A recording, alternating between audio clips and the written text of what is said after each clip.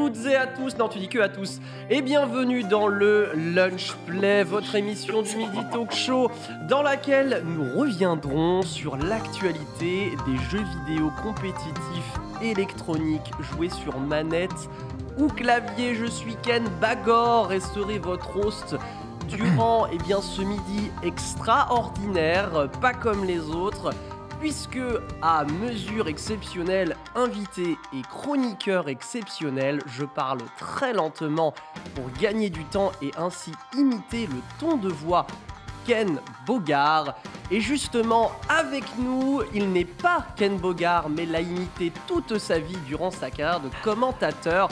Il paraît d'ailleurs qu'il aurait eh bien, voué un culte à son euh, personne, à sa personnalité. Il s'agit de TBK qui est avec nous aujourd'hui. Bonjour TBK. TBK, bonjour, bonjour à tous, ou le Tepaken, hein, le TPK, mais Kepaken. Euh, bonjour, Absolument. ravi, euh, ravi, enchanté de faire votre connaissance à tous euh, pour ma première dans euh, cette, euh, ce lunch. Je, suis un peu stressé, je dois bien avouer, mais bon, euh, j'espère que ça va bien se passer. Très joli survêtement TBK. Ouais, je, ma team c'est le coq sportif, mais euh, j'avais qu'un croco dans le tir. J'en peux plus, j'en peux plus. déjà. Exceptionnel, euh, il nous reviendra avec nous avec le traditionnel quiz de l'actualité, euh, puisque Ken Bogard a tendance à faire des grands temps en temps quand il parle, donc euh, vous allez voir que ça va être très catégorique. Parce que j'ai le hockey. Oui, tu as le hockey, effectivement. Avec nous, celui-ci est un expert des FPS, des feux peceux, euh, genre que je ne connais pas puisque je déteste les FPS, moi, Ken, Bagor.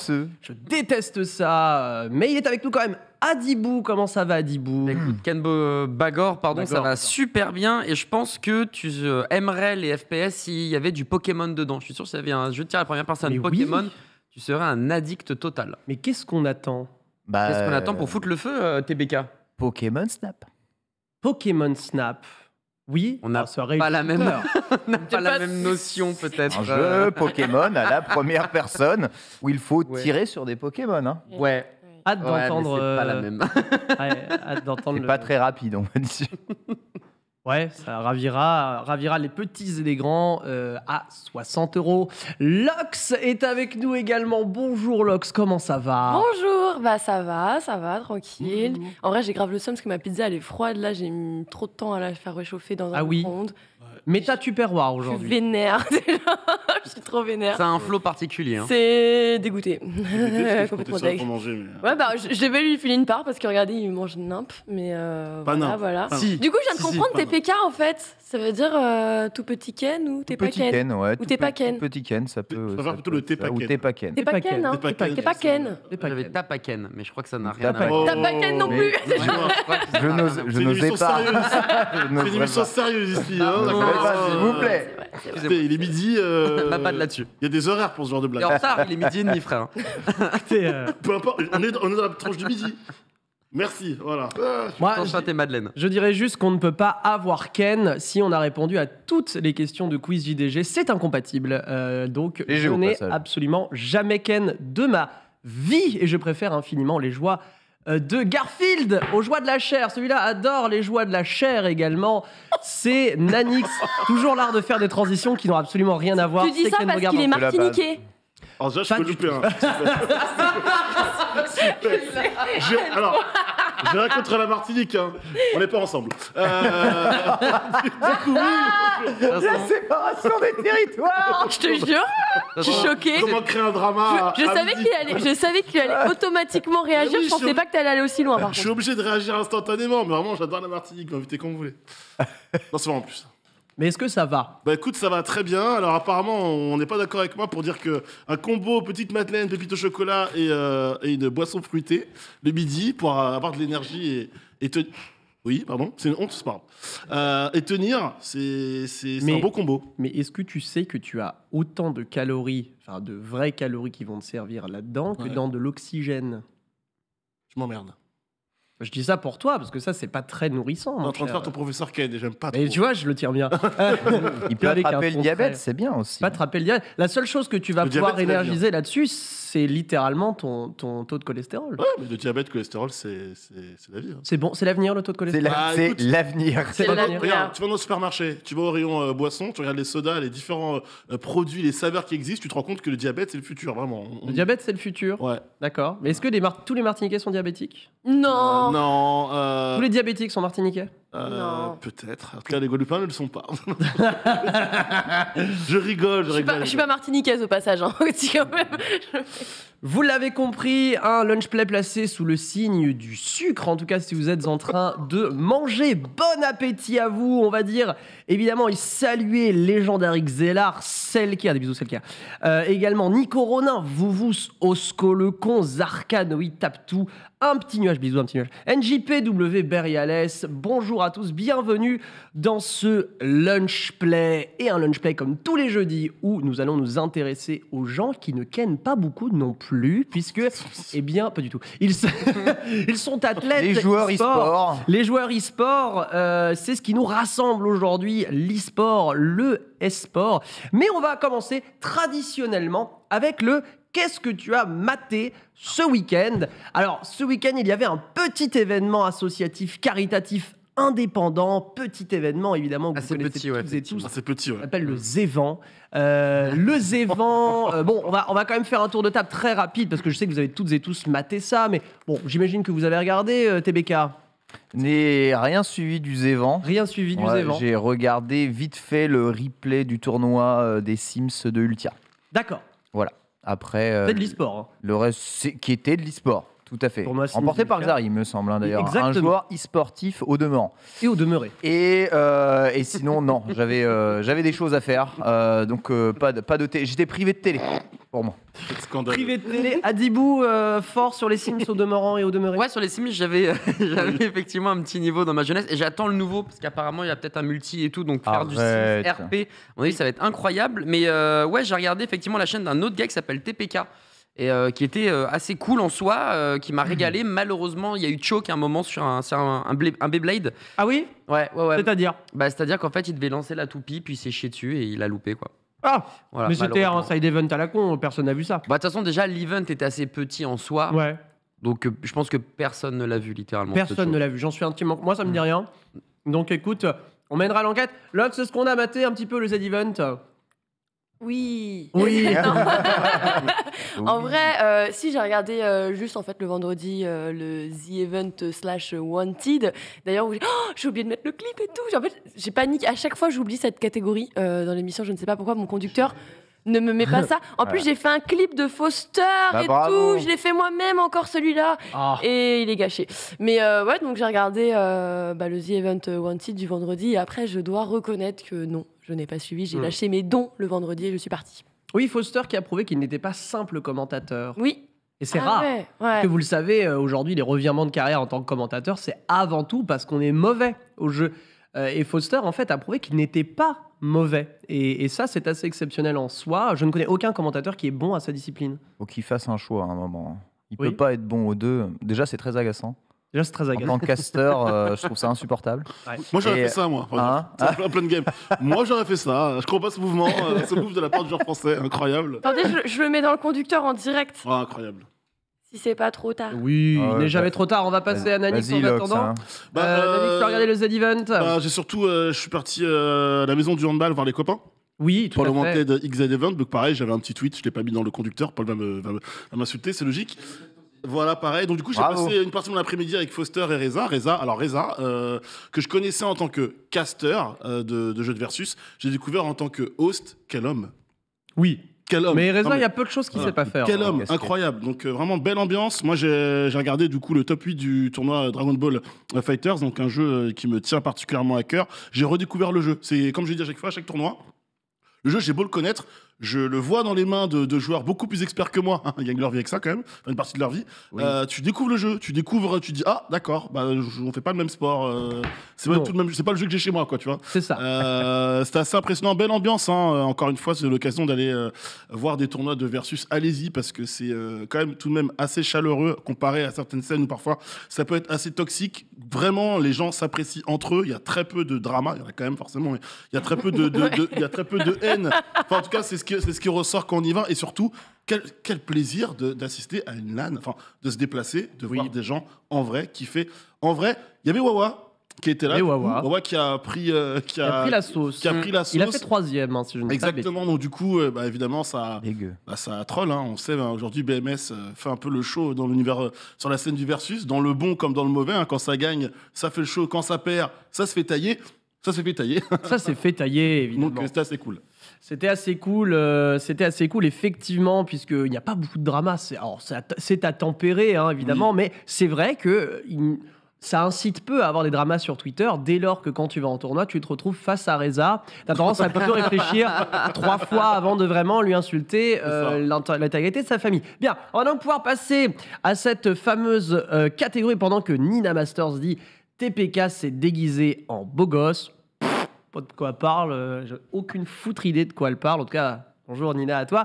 Euh, alors, qu'est-ce qu'on a maté ce week-end, mon cher euh, TBK Alors comme je te dis, euh, j'ai pas eu le temps de mater grand chose, mais j'ai rattrapé un tout petit peu le Capcom Pro Tour euh, Japon. C'était la troisième étape du Capcom Pro Tour Japon, hein, qui, je vous rappelle, cette année 100% online. Chaque étape online qualifie un joueur à la Capcom Cup, qui sont les finales de l'année. Et cette troisième édition japonaise, évidemment, qui est une des dernières, était extrêmement tendue puisque la plupart des joueurs euh, voulaient leur spot. Deux joueurs qualifiés actuellement. Mago qui s'est qualifié au tout début de l'année et Iguchi, le très jeune joueur qui s'est qualifié juste là. Et euh, miracle s'il en est, c'est Ume Juarez Haigo qui a remporté euh, le euh, tournoi après cette férisette par Kawano. Il lui a mis littéralement 3-0 et je tiens à ce que vous regardiez quand même ce match et cette fin de match absolument somptueuse. La preuve s'il en est que Daigo qui a le surnom de Beast euh, le tient pour une bonne chose, c'est que c'est un homme, il faut le tuer. hein. Si tu le laisses actuellement là au zéro de vital, eh bien il ne perd jamais sa flamme, même en 40 ans, l'esprit Seinen on va dire. Et là Kawano l'a juste pas tué et malgré le garçon ex, il y a rien à faire. Décalage c'est- il met flash kick ex pour déchoper, c'est-à-dire qu'il déchoppe, mais en plus il fait ça, dash avant pour euh, trouver la distance, il fait penser à un décalage, hop. Flash kick pour des shops, euh, moi, je, moi, je, vraiment, je me lève, je me barre. hein. Ouais, moi je- j'ai tendance à me lever et me barrer, ouais. Ont fait, mentalement, il y a une fracture mentale parce que tant qu'il est dans le corner, il va, il va pour crever, Daigo. C'est ça. Il sort du corner, c'est frérot, tu es dans le corner, tu m'as pas kill, c'est fini quoi. La game est terminée, incroyable. The Beast. Quand il est en Beast mode, là, comme ça, euh, le mode bête. euh, Effroyable, franchement, il a beau avoir euh, un âge avancé. Ouais, c'est ce euh, que j'allais dire, les il a années, beau ça avoir des, euh, des litres d'alcool dans le sang, il est, un- il est invincible. Absolument Il a, invincible. il a combien Il a 41 ans, c'est ça? Ouais, il me semble, c'est un truc 42, comme ça. hein. Il touche, euh, il 41, touche, euh, il touche les Je plains 40. ceux qui ont- Intouchable, ceux qui ont le mec, la en fait. quarantaine, hein. Et, ouais, et encore, Ouais. encore qualifié, je crois qu'il en a pas Plein raté un CPT. C'est n'importe quoi. C'est euh, un, un- un monstre. C'est juste un monstre. Et C'est un surtout dans les moments clutch, bah, c'est un joueur qui est toujours là grâce à son expérience et grâce à une excellente qualité de jeu. Très, que- sur- très surprenant. Hein Il n'y a que lui, là, quand tu regardes, bon, et ceux qui le suivent évidemment, je parle aussi un petit peu pour ceux qui découvrent un petit peu ce perso. Ah, si on peut encore découvrir Daigo, mais il n'y a que lui à ce moment-là qui, qui peut se dire si je sors du corner, je peux encore le fumer. Quoi. Oui. Combien aurait lâché? Non, mais c'est vrai, combien aurait lâché en vrai tu vois? Tu dis, j'ai très peu. Le pourcentage de chance de gagner à ce moment-là de la game, il est infime, mais t'as l'impression que pour lui, c'est presque une. en fait, je pense que ces situations, il les a tellement vécues. oui, que C'est même pas une question. Ouais. Bah, euh, tant qu'il y a du jeu, il y a du Voilà. jeu. que je sois aujourd'hui. En plus, Street 5 ne, ne tue pas en grattage, sauf avec des, des Super. super attaques. Donc, Mhm. euh, dis, j'ai encore moins de risques de mourir. Et en fait, tu as, de moins en moins de, de, de, de risques de rester dans le coin et de rien faire. Donc, autant, autant aller attaquer. Et en fait, sa gestion du risk and reward est vraiment unique dans, dans l'univers jeu de combat. Il, euh, il en avait fait euh, tout un paragraphe dans, dans, son, dans son bouquin qui est super intéressant. Et il explique, c'est un gambler, hein, c'est un gros gambler, euh, Daigo. Il a fait beaucoup On, de on traduit gambler, Ouais, c'est euh, un, c'est un parieur. parieur. Ouais. C'est quelqu'un, voilà, il aime bien le pari, euh, le pari sportif, tu vois. C'est euh, c'est pas Michael Jordan, mais on est presque à ce niveau-là, tu vois. Et il a, il a joué beaucoup au mahjong. Et au mahjong, tu ne peux pas gagner toutes les parties comme au poker, tu vois. Mais par contre, être capable de gérer son risque pour gagner le plus grand nombre de parties afin d'être dans le positif euh, juste après, ça, c'est quelque chose qu'il Ouais. sait super bien faire. Et, euh, et les grands parieurs ont souvent bah, ce genre de méta. C'est pour ça qu'on le voit faire des trucs qui semblent être complètement fous avec un risque énorme pour une certaine rentabilité. Mais la vérité, c'est que dans les moments clutch, bah, c'est souvent des- des- cette façon de jouer là qui euh, va te donner la meilleure rentabilité de, de, de résultats. Très bien. Daigo, en tout cas, qui n'a pas perdu la foi ni son foi. Et on lui souhaite que ça dure encore longtemps, puisqu'il a quand même. Il en a déroulé hein, du câble euh, dès lors qu'il s'agit euh, de boire sakés et autres substances. Adibou, qu'est-ce qu'on a maté ce week-end Eh ben, comme dirait euh, TBK, on a regardé une scène confidentielle. pour le Ah. coup, la fameuse, puisque j'étais sur du téléphone mobile cette fois-ci pour Oh. regarder du PUBG Mobile. Pro League, les finales de. PUBG Battleground, on Oui. dit. L'avenir du PUBG. BG. Moi je dis PUBG. PUBG, BG. PUBG, Ah. BG. Dites les termes. Ouais, s'il mais vous plaît. PUBG c'est bien, tout le monde connaît. Oui, c'est vrai. Va partir sur des BG, BG beau gosse. Parce que c'est pas le seul vrai, B- euh, seul vrai BR. Pardon. Vas-y. Non, Apex c'est pas mal Il n'y a pas Apex. hein. Pac-Man aussi En BR Ouais, je- Ou ouais. Bomberman Si, Pokémon Ouais. BR aussi qui va arriver bientôt. Ouais. Euh, donc parle, oui, parle bien de, de Bomberman. Non, parce que j'adore PUBG, je trouve que le jeu mérite Bah, c'est euh, cool. pas forcément le côté confidentiel qu'il a désormais, mais bon, après, t'as des mastodontes. Et Apex, je suis d'accord. Ah. J'ai un peu de mal avec d'autres d'autres. Mais continue, Adibou. Alors, on voit que les OP ont été distribués à l'avance. Euh, Il y a cher des Adibou. jaloux. Il y a des jaloux dans le coin. Alors, oui, PUBG Mobile, du coup, qui euh, a décidé de faire un énorme tournoi comme finalement ils le font régulièrement par rapport à la section. alors, C'est très régional. Tu vas voir la Nord-Amérique, tu vas voir le MEAE, donc ça va non MEEA, donc ça va être tout ce qui est euh, Europe notamment. Et on a eu la finale ce week-end après quatre semaines acharnées et on a eu finalement le meilleur de ce qui se fait dans ce bas monde, une structure belge avec des joueurs français qui gagnent le tournoi. Euh, Parce que on taquine nos voisins belges avec la- le foot, etc. Mais en vrai, c'est comme le combat chocolatine pour chocolat. Est-ce que vrai. ensemble, unis, c'est pas la meilleure viennoiserie du monde? Le pain en chocolatine, tu vois, un truc comme ça. C'est vrai, pas en chocolatine. J'aime bien ta manière de le tourner, c'est pas en mode comme d'habitude, parce que c'est très français de dire bon, bah c'est une équipe belge, mais avec des Français, donc c'est une structure un peu française, les gars. Non, c'est un mix. Voilà, là c'est bien. C'est un bien, mix. bien, On est bien. unis vers la victoire et du coup, Gamelord réussit à choper une première place. Ils avaient été quand même assez solides tout au long du tournoi puisque en fait, voilà, chaque semaine il y avait euh, des qualifications pour un super week-end et donc c'est le super week-end que tous les points comptaient. Et finalement, à la fin du classement, euh, les Gamelords ont été les plus forts, même si en face il y avait des très très grosses équipes, notamment les Unicorns of Love Oh. et un des joueurs chinois du coup euh, les plus forts de sa catégorie. Et, euh, et c'était cool de voir finalement que et d'apprendre aussi.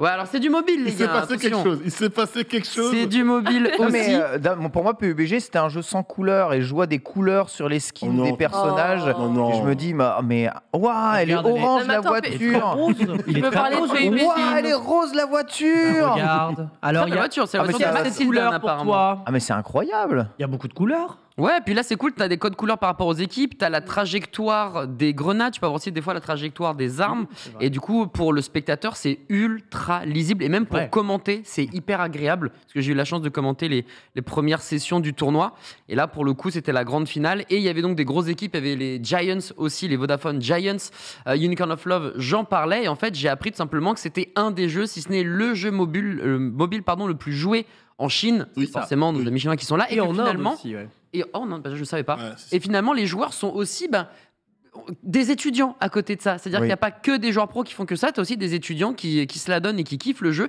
et qui eh bien, ont participé à ce genre de tournoi. Il y avait également une équipe 100% féminine Oui. euh, qui malheureusement n'a pas pu euh, aller euh, aussi loin que prévu, mais qui a en tout cas réussi à accéder euh, au top 20 des meilleures équipes euh, d'Europe et de Navarre. Donc un gros GG au mix franco-belge euh, des Game Lords qu'on embrasse. Et à toute l'équipe de cast, ce ne sera Cosinus, Albless et, et tous les autres. Voilà, des gros gros bisous. Et Ah, encore une fois Cosinus. très sympa, très très sympa à regarder. PUBG, très c'est pas partie des jeux en Chine justement qui est un petit peu euh, sous le radar du gouvernement, tu sais, pour. euh, C'est en Inde. C'est en Inde. Il a été banni une première fois. Puis euh, c'est un jeu, c'est un jeu Tencent à la base. Donc quand le jeu arrive en Inde en disant bonjour, je suis, je suis un jeu chinois, Ouais. les Indiens ont dit ah bah non, ça nous plaît pas trop. C'est-.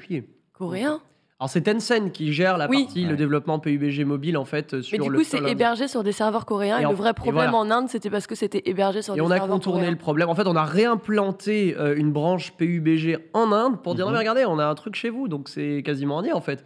Pour les fun, non. Et du coup, ça a permis avec une version mise à jour de PUBG avec notamment du sang vert, euh, des choses. Vous avez vu que les dire- éclats de sang sont verts. hein, C'était pas, pour- c'était pas également le cas aussi euh, en Chine par rapport à la violence, Euh, etc. c'est comme ça, mais il me semble que le sang était rouge à la base sur la version indienne. Que justement, ça faisait partie des points de blocage. Maintenant, en Chine, quand tu fais un kill sur PUBG mobile, la personne se met à genoux. Genre, elle pose un genou à terre et elle disparaît. Genre, elle s'allonge. Ok. Voilà. Ouais, il n'y a plus de, y a plus de mort euh, Oui, y a plus de ragdoll, mort, ragdoll oui, donc, euh, Ah, il n'y a pas de ragdoll C'est- là-bas. hein. ça- a été pas, ça a été un peu Moi, ça me censuré, plaît, voilà, hein. On va dire ça comme Ça ça. a été censuré, mais les, le, comment dire, le plus important, c'est que le jeu soit là Oui, et que le toujours. jeu aujourd'hui, et ça c'est l'un des points forts du jeu vidéo, c'est qu'il est beaucoup, beaucoup mieux animé que Pokémon.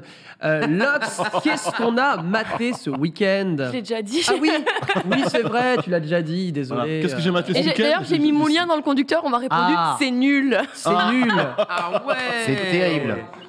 c'est trop tard, nous Oh. Paul le Et tyran. Paul, il est comme ça, quoi. Il a pas Ouais, de- Paul, euh, Paul le tyran, euh, mais bon. Je, je passerai le message à Foster. Non, non, non, mais Oh juste, juste, je dirai à Foster que t'as dit c'est nul. Parce que Donc c'est Foster qui est nul, c'est ça Oh Rien ne va j'ai fait un screen, mec, hein, c'est trop tard.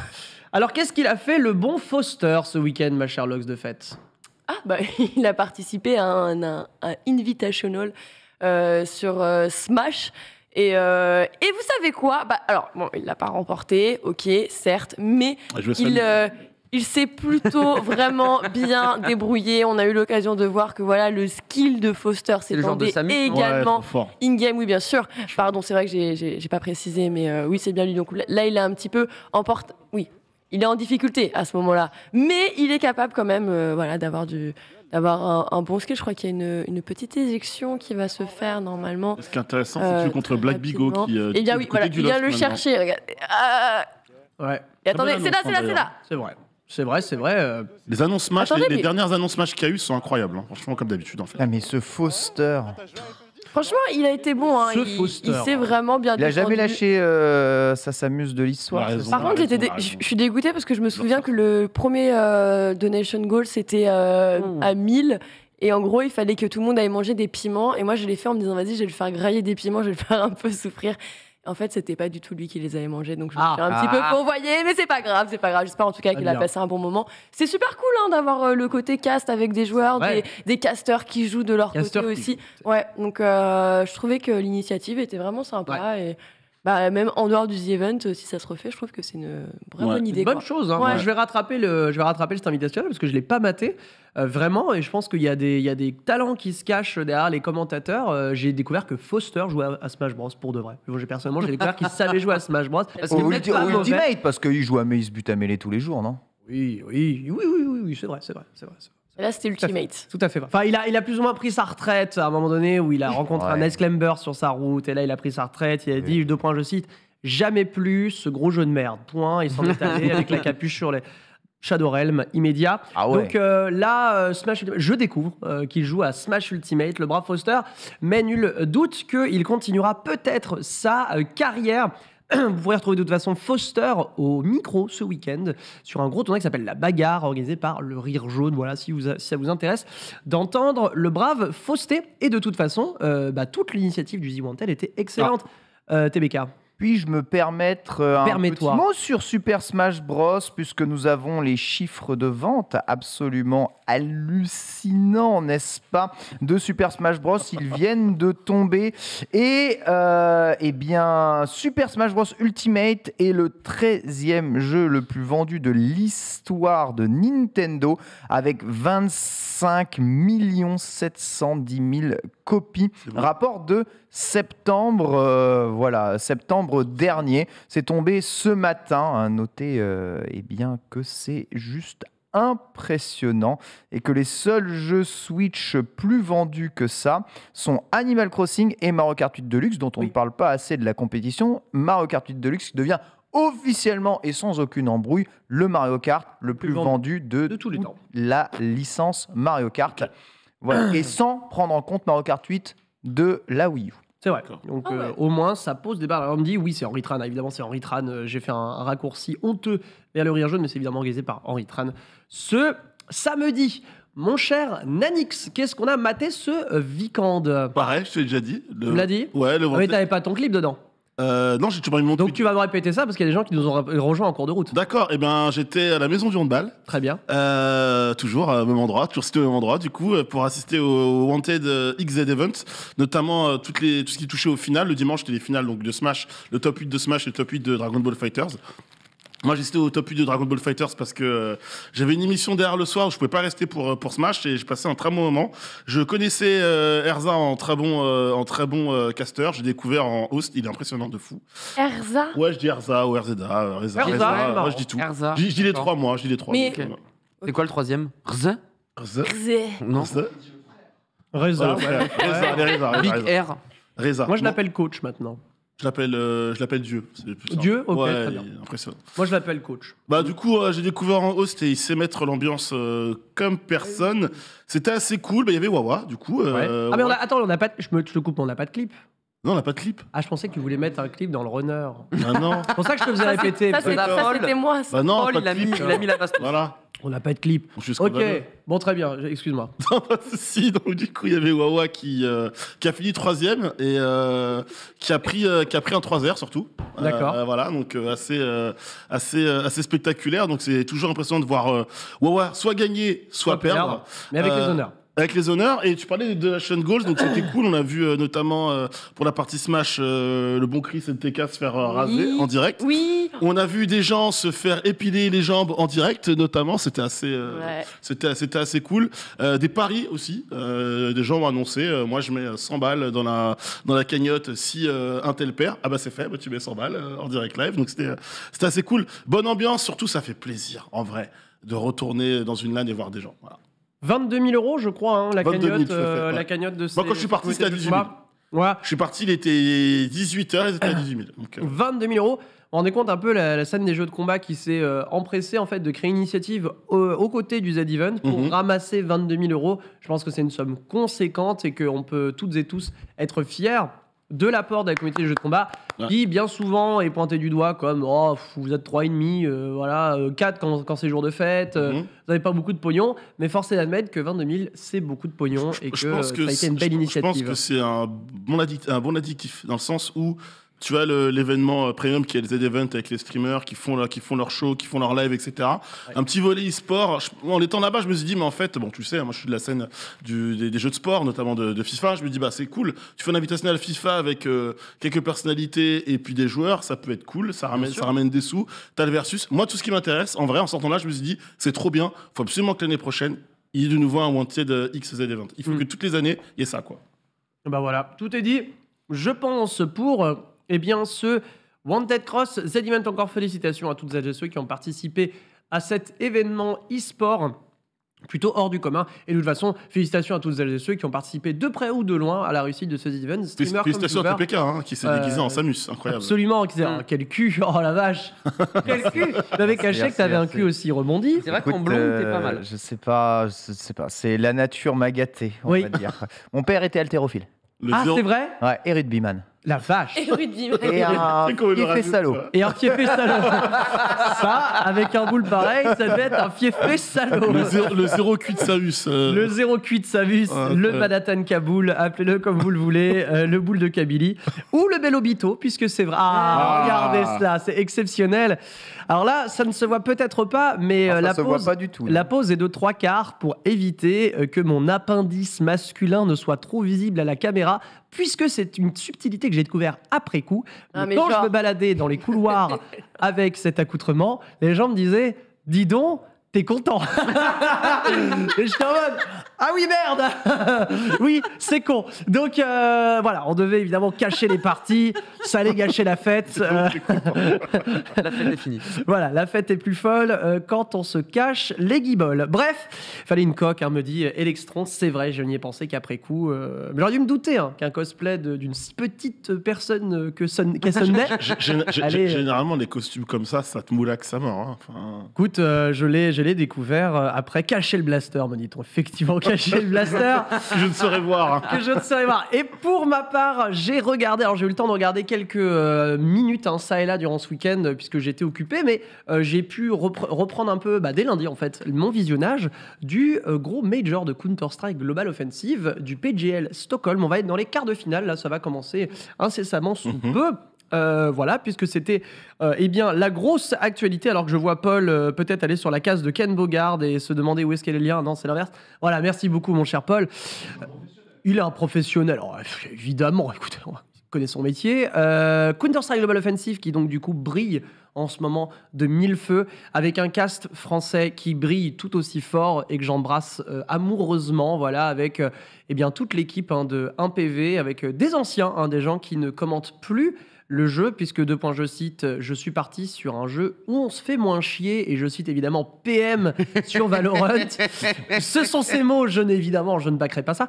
Euh, mais clairement, c'est euh, c'est exceptionnel de mater du Counter-Strike Global Offensive. On essaiera, j'essaierai de vous dégoter un invité la semaine prochaine pour eh bien, en parler avec nous, hein, si les dieux me sont favorables euh, et qu'il n'est pas euh, bourré de la veille, CND, pourquoi pas, euh, qui nous accompagnera. Bon chance. non, ça devrait le faire en vérité. Bref, Counter-Strike Global Offensive, c'est excellent. Je sais pas si vous matez un petit peu le Major autour de la... Lox, tu mates un petit peu? Bah, je sais que là, on se retrouve avec un quart euh, Vitality euh, Navy. Il va faire mal. qui va être Ouais, euh, plutôt intéressant. Donc, ouais, c'est. Ouais, j'ai oublié que j'avais maté un peu.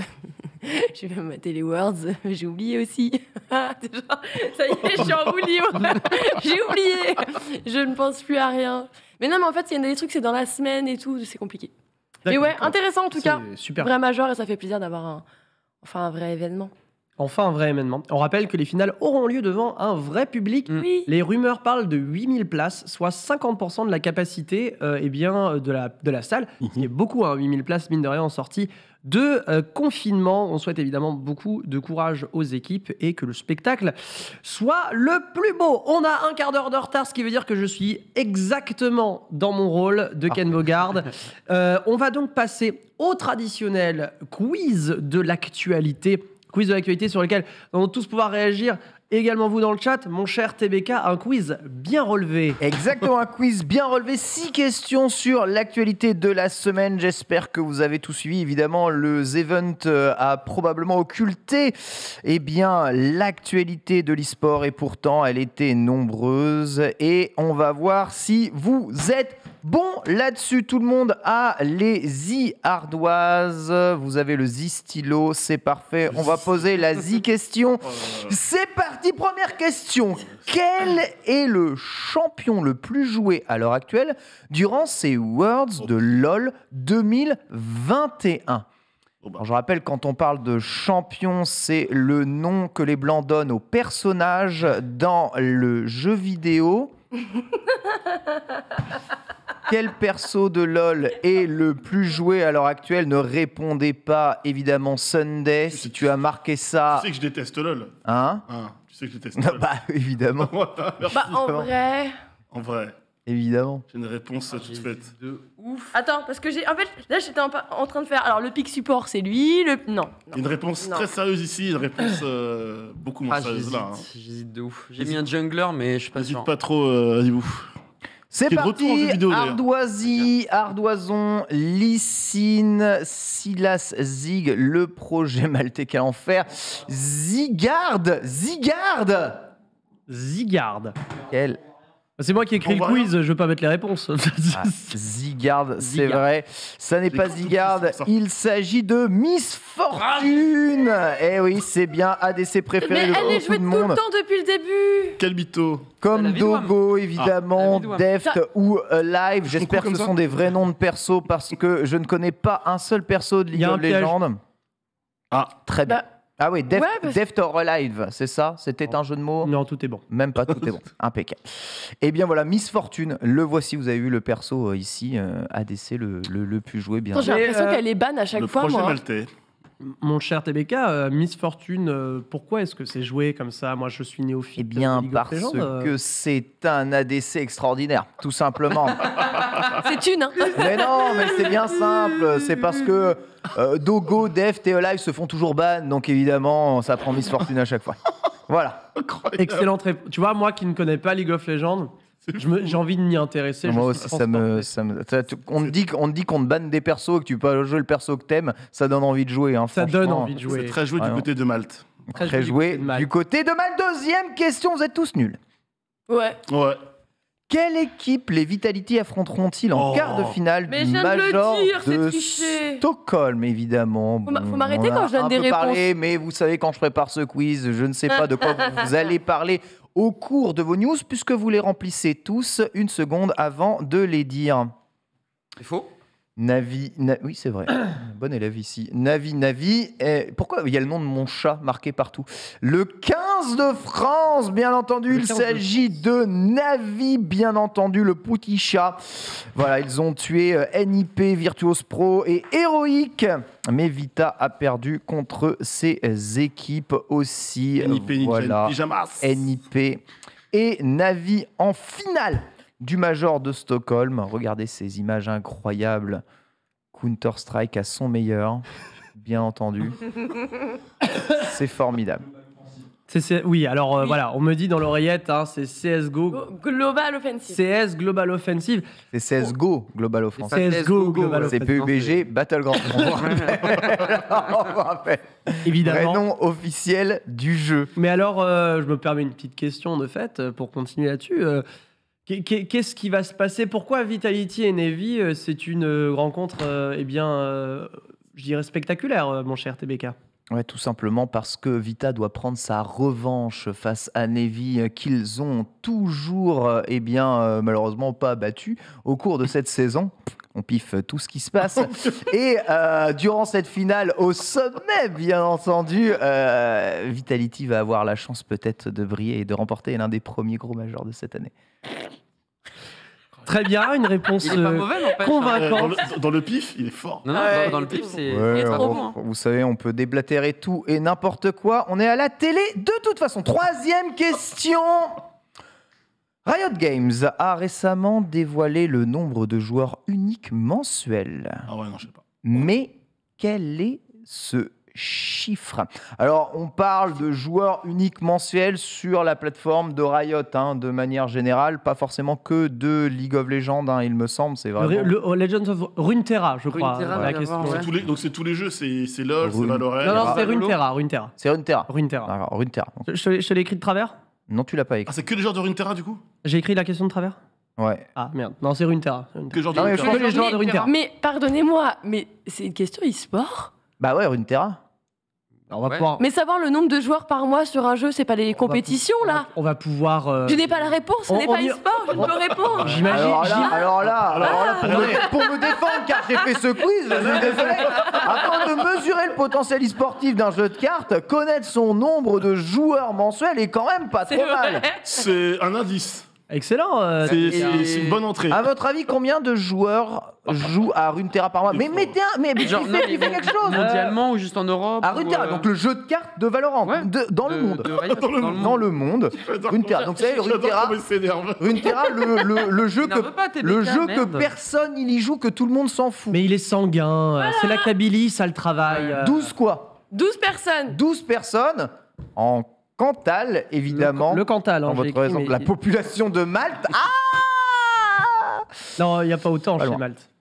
ah non, bah non, le Dans gars. le monde Ah bah dans le monde, mais c'est infiniment. Mais Ça, c'est Runeterra. Tu Hein. prends ce chiffre et tu le multiplies par 180. Eh bien, c'est 180 millions Eh de joueurs dans le monde euh, de Runeterra Runeterra. par mois. Aucune idée. 180 Franchement, euh, millions de joueurs. C'est beaucoup quand Bah, Bah, oui, c'est énorme en Je fait. pensais pas que c'était aussi balèze. Mais c'était Bah pas des, des- C'est des jeux de méga cartes, balèze. c'est ça c'est En encore fait, Runeterra, autant- c'est pas un dead game. hein. C'est Non, juste, euh, c'est pas un c'est dead juste ça. En fait, Euh, vous voulez vous le C'est dire. c'est très intéressant Runeterra parce qu'en en fait, il a le, probablement l'un des meilleurs modèles économiques pour un jeu de cartes. D'accord. En, en cela que t'as pas à piffer des boosters. En fait, tu achètes ta carte que tu connais à l'avance. Et ça, c'est un gros intérêt pour les Ok. gens qui veulent juste mettre, entre guillemets, qu'on soit des decks euh, à la carte près. Ensuite, il y a un circuit qui existe, mais qui est moins fort parce qu'en face, tu as Hearthstone et Magic qui sont juste historiquement beaucoup plus forts. Donc en vérité, Runeterra euh, continue de faire un petit peu son petit bonhomme de chemin. Ouais, mais c'est quand même en dessous de TFT et LoL, j'imagine. Oh, Ah oui, oui, oui, oui, 100%. oui, oui, un jeu même, de que, cartes, même hein. que Valorant. Euh, non, Valorant, c'est beaucoup moins que ça. hein. Valorant, Ah ouais je crois que c'est. Alors, des chiffres que j'ai, que j'ai vérifié pas plus tard qu'hier. en- Ouais, mais Écrit- c'est- en c'est- co-écrivant ce quiz. C'est 12 millions de joueurs uniques mensuels sur Valorant, a priori. Mais ça, c'est des uniques 180 millions? Ça, c'est des uniques. Oui, mais c'est vrai Enfin, que j'ai du mal à joue croire aussi que sur c'est des mobile en fait, et du coup, euh, je me suis fait zob. bêtement. Ah oui, ça c'est vrai. Le côté mobile fait toute la différence. Ouais, oui. Oui, C'est pour ça que. Valorant aura sa version mobile, mais on en reparlera en On, temps on oublie, on oublie, complètement euh, oublié que c'était sur. Ouais, non, mais c'est ça qui fait la Ouais. diff. en fait, des jeux populaires, tu les mets sur mobile, t'as dix fois Ah, moi, j'ai- pensé PC, je me suis dit, de toute façon, c'est moins bien que TFT, je vais mettre mobile, 12. ouais, le mobile, ça fait- le- C'est le mobile qui fait la plus grosse audience, je suppose. Dans les C'est- 180 oui. millions, c'est le mobile qui apporte le. Ah ouais, Ils n'ont pas mais donné le détail. Je note ici que vous ne croyez pas du tout en Runeterra et tu vois, ça, ça prouve quand même beaucoup de choses hein, sur les a priori qu'on a sur certains jeux. Question suivante. De quelle nationalité sont les deux équipes en finale des Worlds de League of Legends? De quelle nationalité sont les deux équipes Il y a peut-être un piège, je trouve, il n'y a qu'une seule des nationalité. Worlds Scandaleux. de League of Legends Bien entendu, Scandaleux. Aucune idée. vous connaissez les deux équipes en finale, j'espère, déjà Regarde. Ouais, c'est euh, Damwon et Edward Ah bah, Gaming. Yes. Du coup, je crois que c'est ça. Si vous connaissez les deux équipes en finale, ouais, c'est ouais. très facile. Non. Martinique Non, et Belgique. Martinique et Guadeloupe, coréen, chinois, coréen, chinois. Ah ouais? J'aime beaucoup le C pour les deux. C'est beau, la petite lune. euh, Je vais écrire ce que je comptais, mec, au départ. Évidemment, on reste sur la blague, hein, maltais. Maltais. Malte, Malte. Ça ne va pas du tout, hein, Nanix. hein. Je va sais, pas du je tout, sais. Ça ne va pas du tout. Eh bien, oui, Je sais. c'est en effet coréen chinois, chinois et coréen, Eduardo. Eduardo. Gaming Eduardo. et Damwon. Eduardo Gaming, bien entendu, euh, les voici en finale de League of Ah, ça m'a fait mal, On ça m'a voit fait mal. ici Ouais, ça c'était dur. hein. Ça c'était dur. Mais il y a plein de trucs comme ça au T1 fort. C'est pour ça que j'ai pas dit que je l'avais regardé parce qu'en vrai, je- j'enlève de mon esprit tout ça.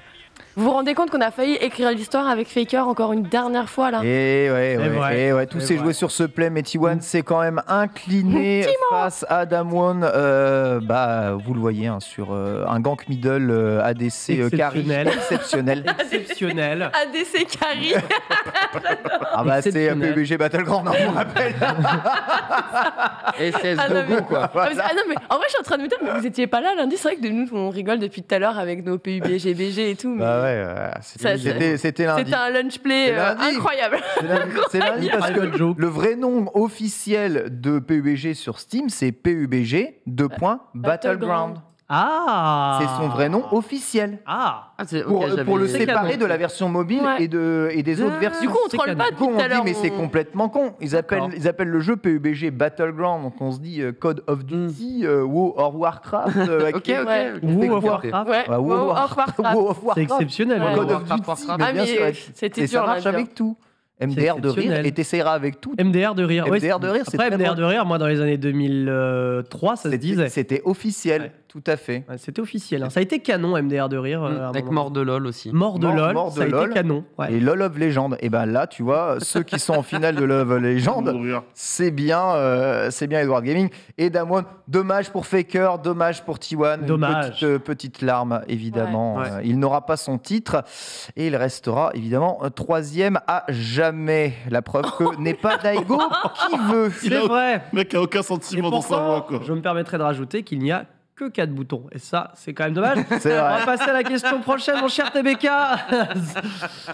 On va parler de Gotaga. Vous connaissez tous Gotaga, l'influenceur, le streamer, le joueur. French Monster. Euh, c'est absolument fou. Gotaga a fait une énorme annonce durant le Z-Event 2021. Quelle est cette annonce? En vrai, il a fait deux annonces. c'est ce que j'allais dire parce que du coup j'étais en train d'écrire une première et je me dis ah bah du coup il y en a deux Donc tu veux les deux, du coup?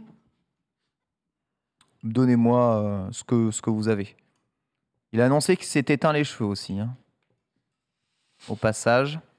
en va rouge. bien le vert. en rouge est-ce que j'ai un point pour la couleur? Je l'ai déjà dit En rouge Non, en vert.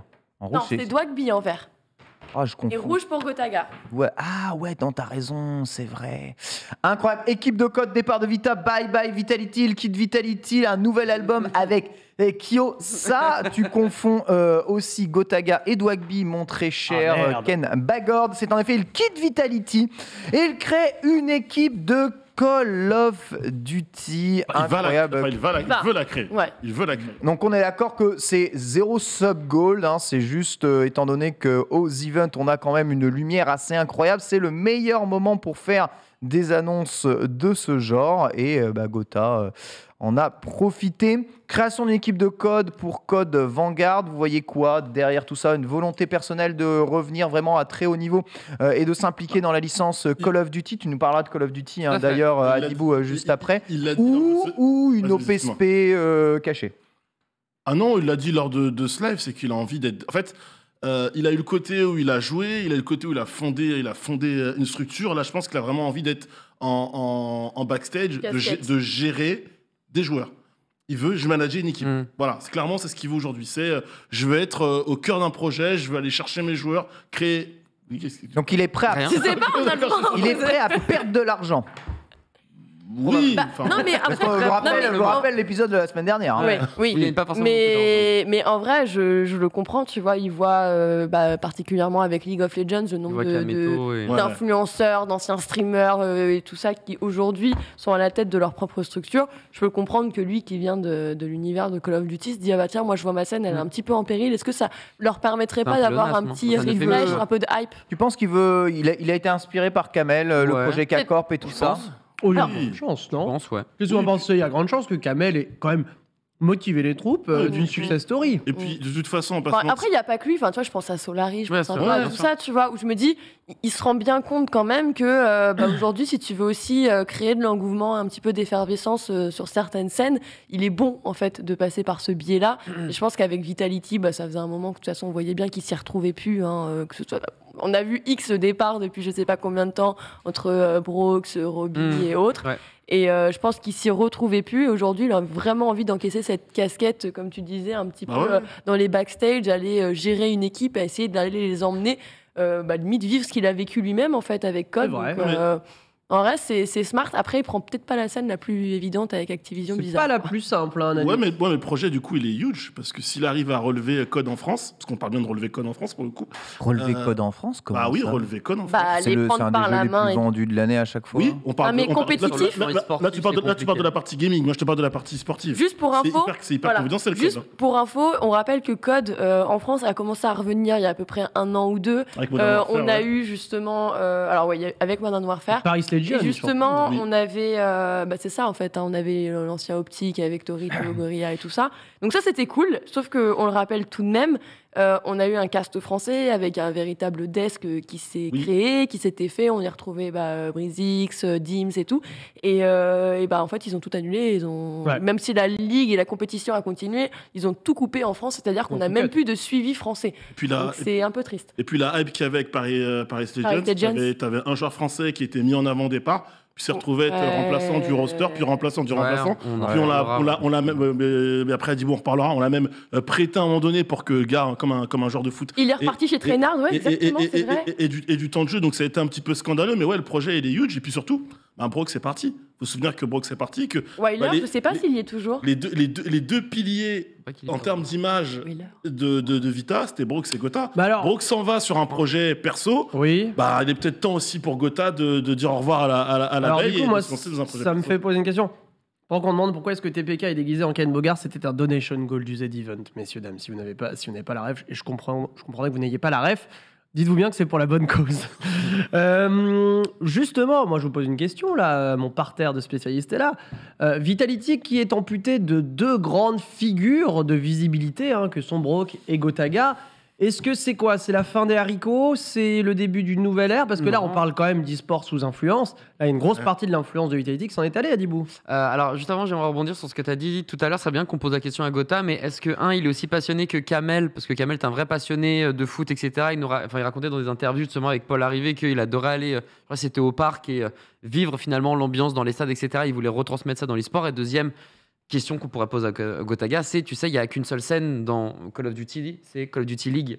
Donc, c'est les franchises à X millions d'euros pour rentrer. 25, 30 millions d'euros. Donc on referme la parenthèse euh, pour revenir là-dessus. Et par rapport à Vita, parce que c'est pas juste le renouveau de quelque chose, je pense qu'il y a pas mal de d'ambassadeurs, c'est comme ça qu'ils les appelaient, qui finalement n'étaient pas forcément, je pense, ravis de devoir faire des choses. euh, et quand je dis devoir, c'est vraiment contractuellement devoir faire des soirées, se forcer à faire des choses. Et on est sur des personnalités qui ont tellement de followers, qui ont tellement de visibilité, qui ont tellement de taf à côté que quelque part la passion peut-être s'en est allée et le fait d'être imposé sur certains trucs les a tout simplement saoulés. Peut-être qu'ils ont envie d'autre chose. On évolue tous. Regarde Brooks, il adore faire euh, enfin rap, modèle. Est-ce que Mannequin. c'est pas mannequin? Voilà, est-ce que c'est pas son nouveau cheval de bataille? Le côté sportif, il le laisse de côté, tu vois Pareil pour Gotha. Gotha, il a d'autres chats à fouetter maintenant. et il a besoin de s'occuper de la, euh, la Gotaga Corp hein, finalement. Et son nouveau projet va lui demander forcément énormément de temps. Ça devient presque un euh, concurrent à Vitality. En tout cas, il y a peut-être un conflit d'intérêts qui va se mettre en place dans le milieu de l'e-sport.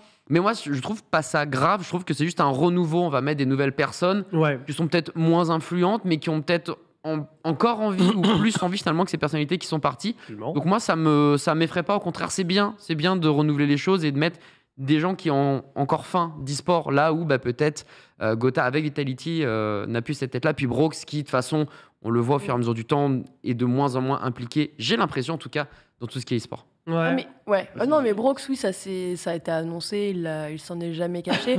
Après, c'est vrai que moi, je trouve que dans les, les conditions annoncer ça aux E-Event, c'est- je sais pas si c'était le meilleur C'est pas le endroit, en meilleur fait. endroit, genre, le euh, meilleur endroit pour annoncer des choses aux events. Bon, alors, si, pour annoncer certaines choses. Mais je pense qu'un départ de, de, de Vitality dans la posture dans laquelle il se trouvait, où il se trouve même, j'ai envie de dire, c'est peut-être pas. Je, je, je, je crois que c'était pas vraiment prévu.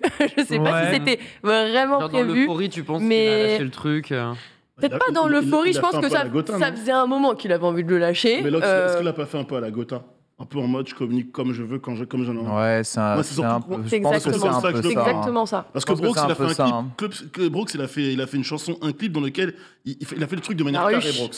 Il a fait le truc de manière carrée. Ouais. Gotha, je pense que c'est peut-être là où ça fait un petit peu tâche, un petit communiqué, une petite vidéo perso avec logo Vitality, enfin, un, un, un- un petit, un petit clip Pour toi, sympa. ça a été mal fait. Non, c'était bah, non, léger. C'est un peu hors de contrôle de Vitality Voilà, en fait. c'est C'est ça. 100% Gotha et je D'accord. sais pas si du Mhm. point de vue de Vitality, c'est Exactement. Bah, exactement Vita- les conditions qu'il aurait. Ouais. Bah, Oui. déjà, ouais. Voilà, on n'a pas eu de réaction. Ils euh, auraient pu. C'était dans leur droit le plus profond de communiquer Droit derrière. de réponse. Ils auraient pu. Droit de réponse côté TBK. Ouais, moi, je, je pense que Gotha, c'est vraiment un, un passionné. Et euh, j'ai toujours vu comme un streamer euh, extrêmement fort. S'il est aussi là-haut, c'est parce qu'il a poussé le côté euh, gaming, performance gaming très haut. C'est pas un ambianceur.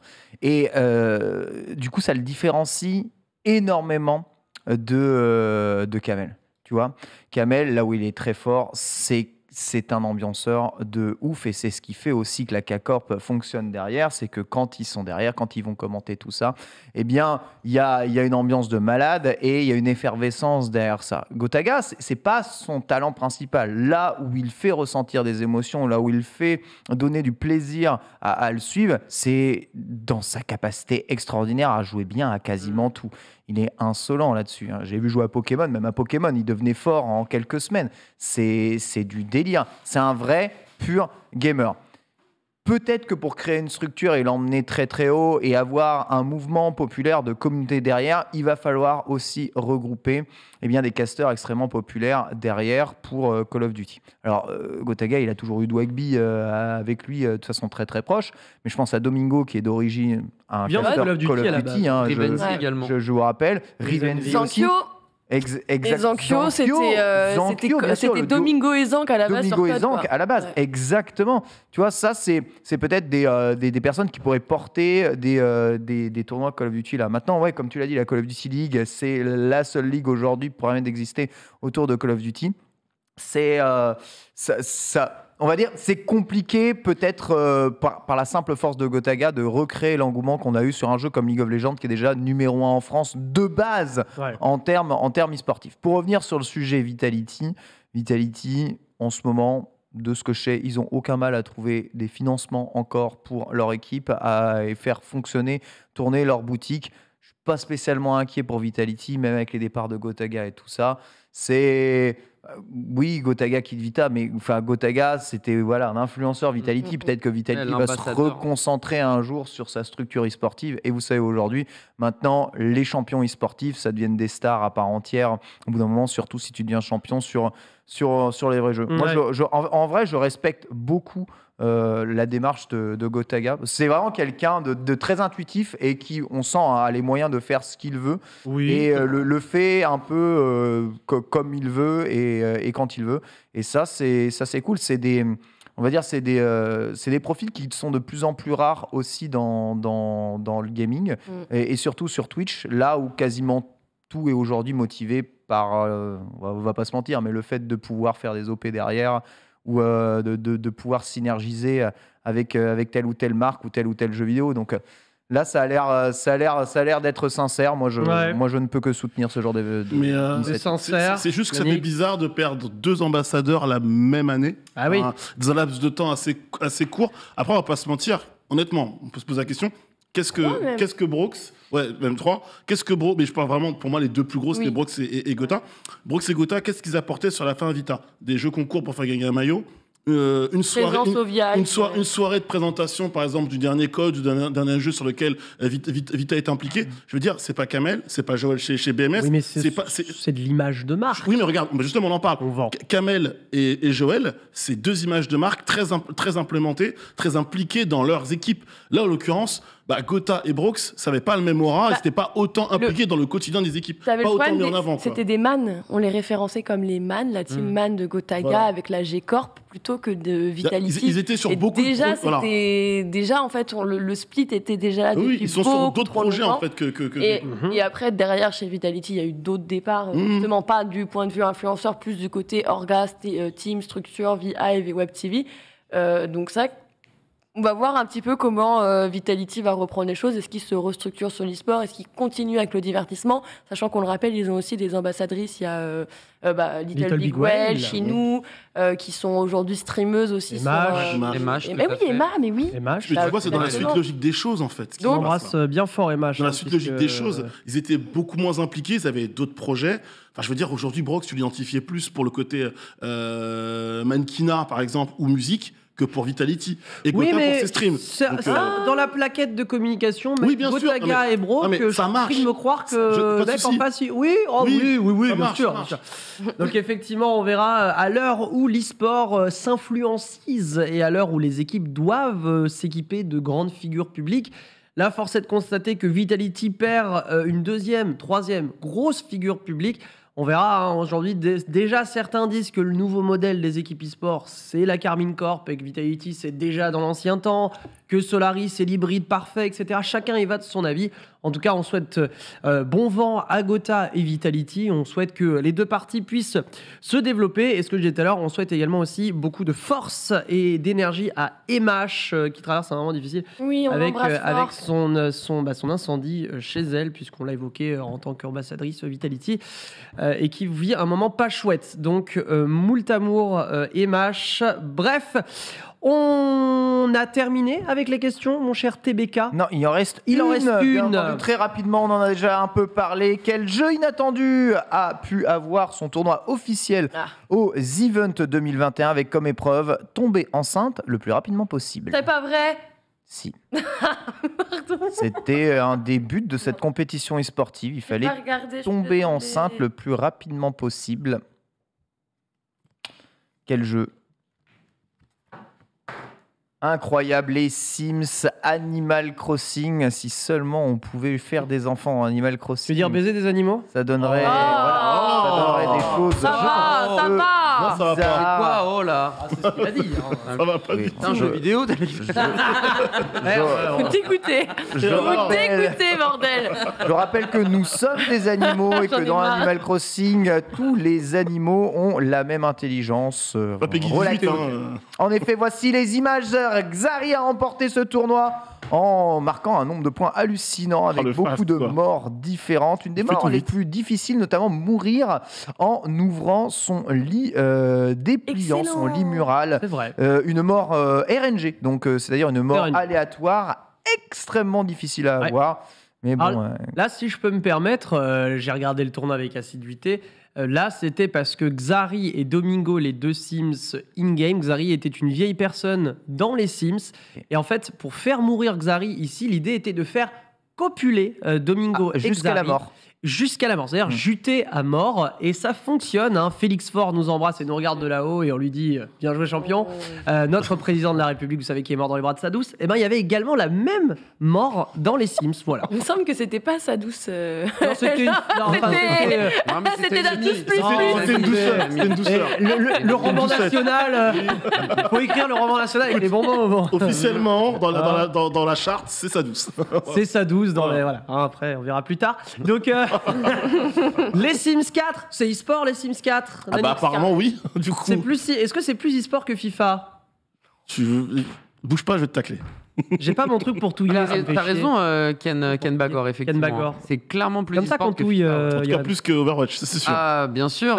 Elle, elle la FIFA Ce League. sont Je- deux je- jeux Electronic Arts, donc je dirais que c'est aussi sport que FIFA. Ah, tu vois, excellente réponse.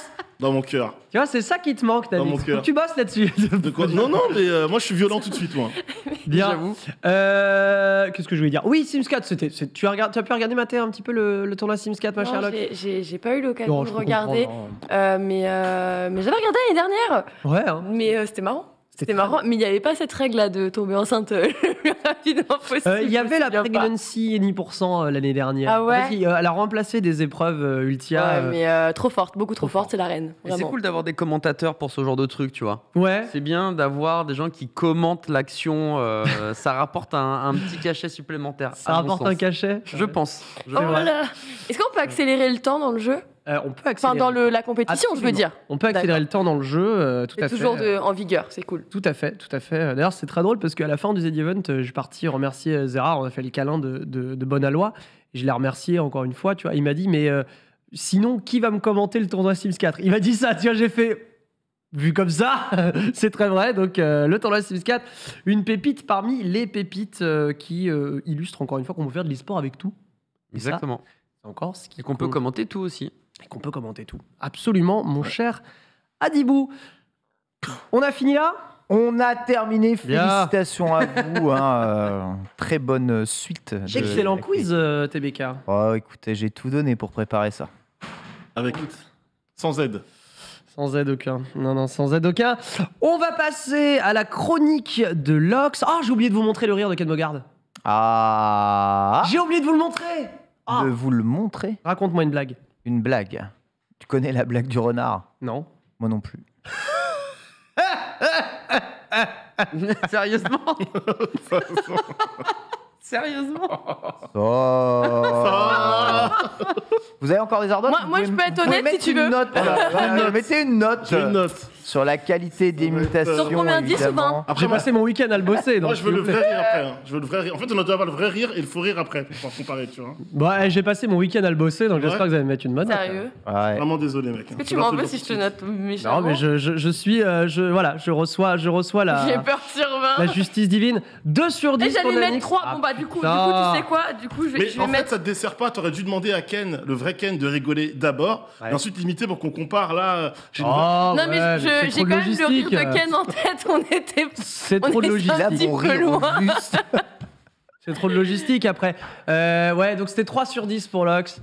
Euh, non. Ah, je Ah non. Ah, c'était 1 sur 10, 2 sur 10. Non, mais en fait, j'allais mettre 3. Du coup, j'ai mis 4 pour augmenter Quatre la sur deux, moyenne. elle 4 sur sur deux. 2. Sur 4 vingt. sur 20. Donc ça diminue en augmentant, c'est très malin. Ça, c'est malin. c'est très très malin. J'apprécie le, le, le geste, c'est fou. Ouais, le, le chat, euh, le chat qui, euh, voilà, qui donne des bonnes notes. hein, je Ah vous bon remercie. Le chat. Ah C'est vrai ouais. qu'il faut parler en même temps. Euh, Peut-être qu'on le réentendra le rire à la fin de l'émission. Je ne sais pas. En tout cas, euh, euh, qu'est-ce que je voulais dire? Oui, La chronique Lox, de Lox. la chronique de Lox. Aujourd'hui, on va euh, et un tout petit peu. Ça, j'ai j'ai remarqué qu'il adore dire ça. On va un tout petit peu parler de League of Legends. La base. Un tout petit peu seulement, évidemment. Mais pas, pas de League of Legends, tout simplement. On va parler d'un tournoi D'un surtout. tournoi. Le retour d'un tournoi. Un tournoi qui est devenu un événement annuel. Enfin, de quel, vous savez duquel je parle? Ça a été annoncé hier, hein, quand même. La Mastercard. Nexus Tournament. Exactement. C'était- Merci. C'était mon tournoi l'année dernière. Je l'avais présenté dans le journal. C'est vrai, c'est vrai, c'est vrai, c'est vrai. Moi qui l'avais fait.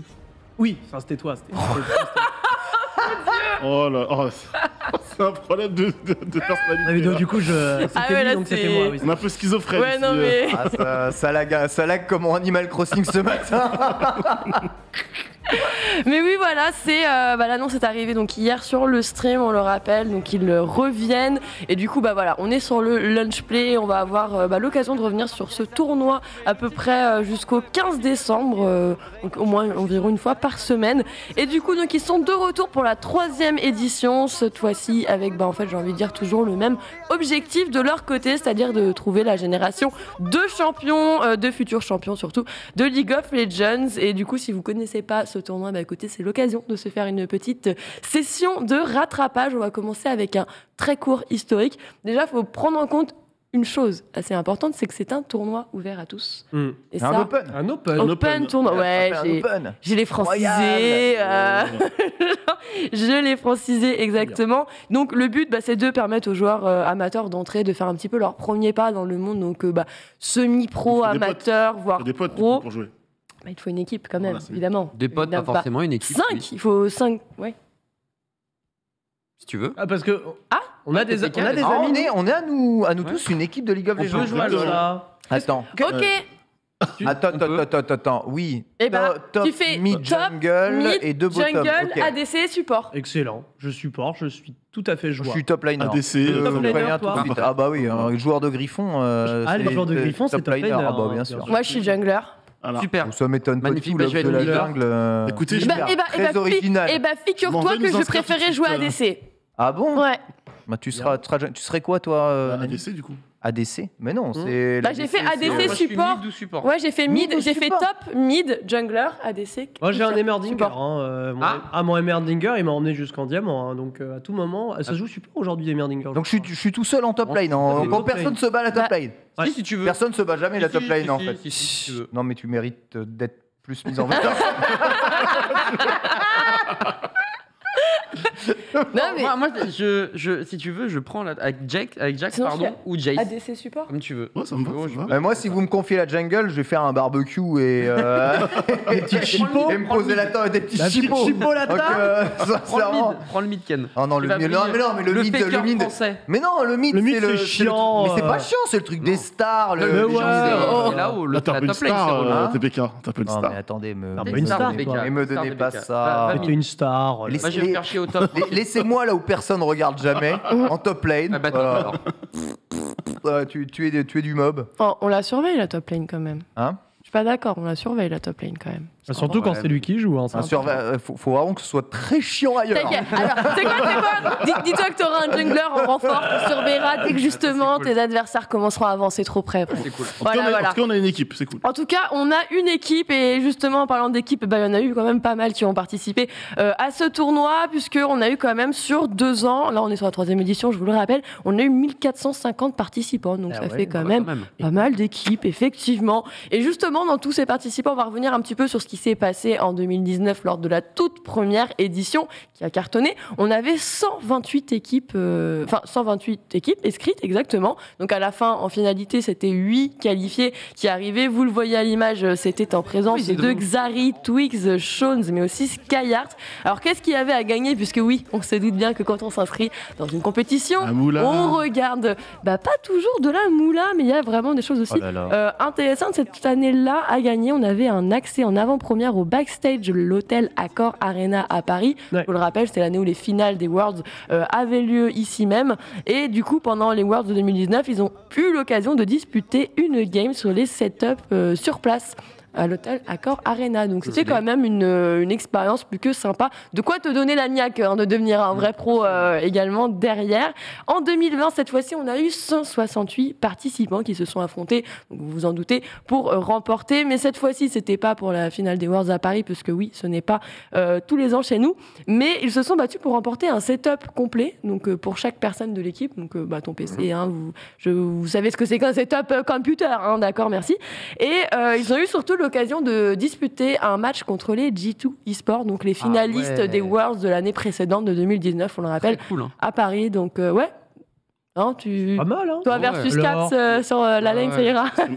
C'est- marrant en fait, c'est pas du cash prize, c'est des, comme des giveaways. Enfin, C'est de la dotation. C'est une une dotation. dotation. ouais. c'est un peu des, des, des, des, des Bah. lots e-sport à l'ancienne, tu sais. Bah il n'y non, avait pas parce que forcément le un cash, bah, t'as un setup, c'était ce que tu pouvais gagner auparavant. Ouais, mais là, Ouais, mais là, là, le but, c'est pas. En fait, c'est pas comme une euh, Oui, compétition classique où tu as le cash prize pour une équipe. c'est ouvert, quoi. Donc, tu peux former des équipes et le but, c'est vraiment de dénicher des, des pépites. Ouais. des talents. Et en fait, forcément, quand toi, tu as envie de faire une carrière dans les sports, entre gagner tant, bon, oui, ok, ça compte aussi, mais de te dire, ok, euh, je vais avoir l'opportunité euh, de rentrer, euh, d'aller voir les backstage des Worlds et tout, d'être sur la scène, tu vois, de, Ouais. de de prendre un petit peu, en fait, justement, la température.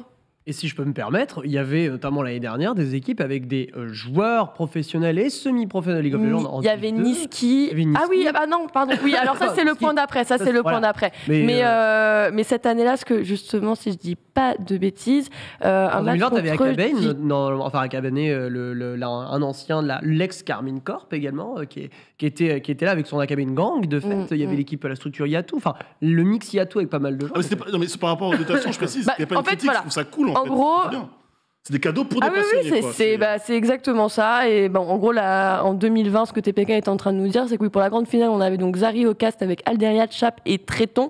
Et donc, on a eu une grosse finale avec euh, le FC McDonald's contre Yatou. Ça a été une victoire pour Yatou. Et c'est là où, justement, on va arriver sur le point suivant. Cette fois-ci, c'est un petit peu l'incubateur de Success Story. Je l'ai renommé comme ça, puisqu'en gros, c'est juste pour revenir sur le fait que dans cette compétition, on a croisé des grands noms de la scène e-sport en France. Et euh, bah voilà, justement, commence en 2019. On le voit d'ailleurs dans le générique à une minute exacte. C'est le TC de la vidéo. On retrouve Toukouille.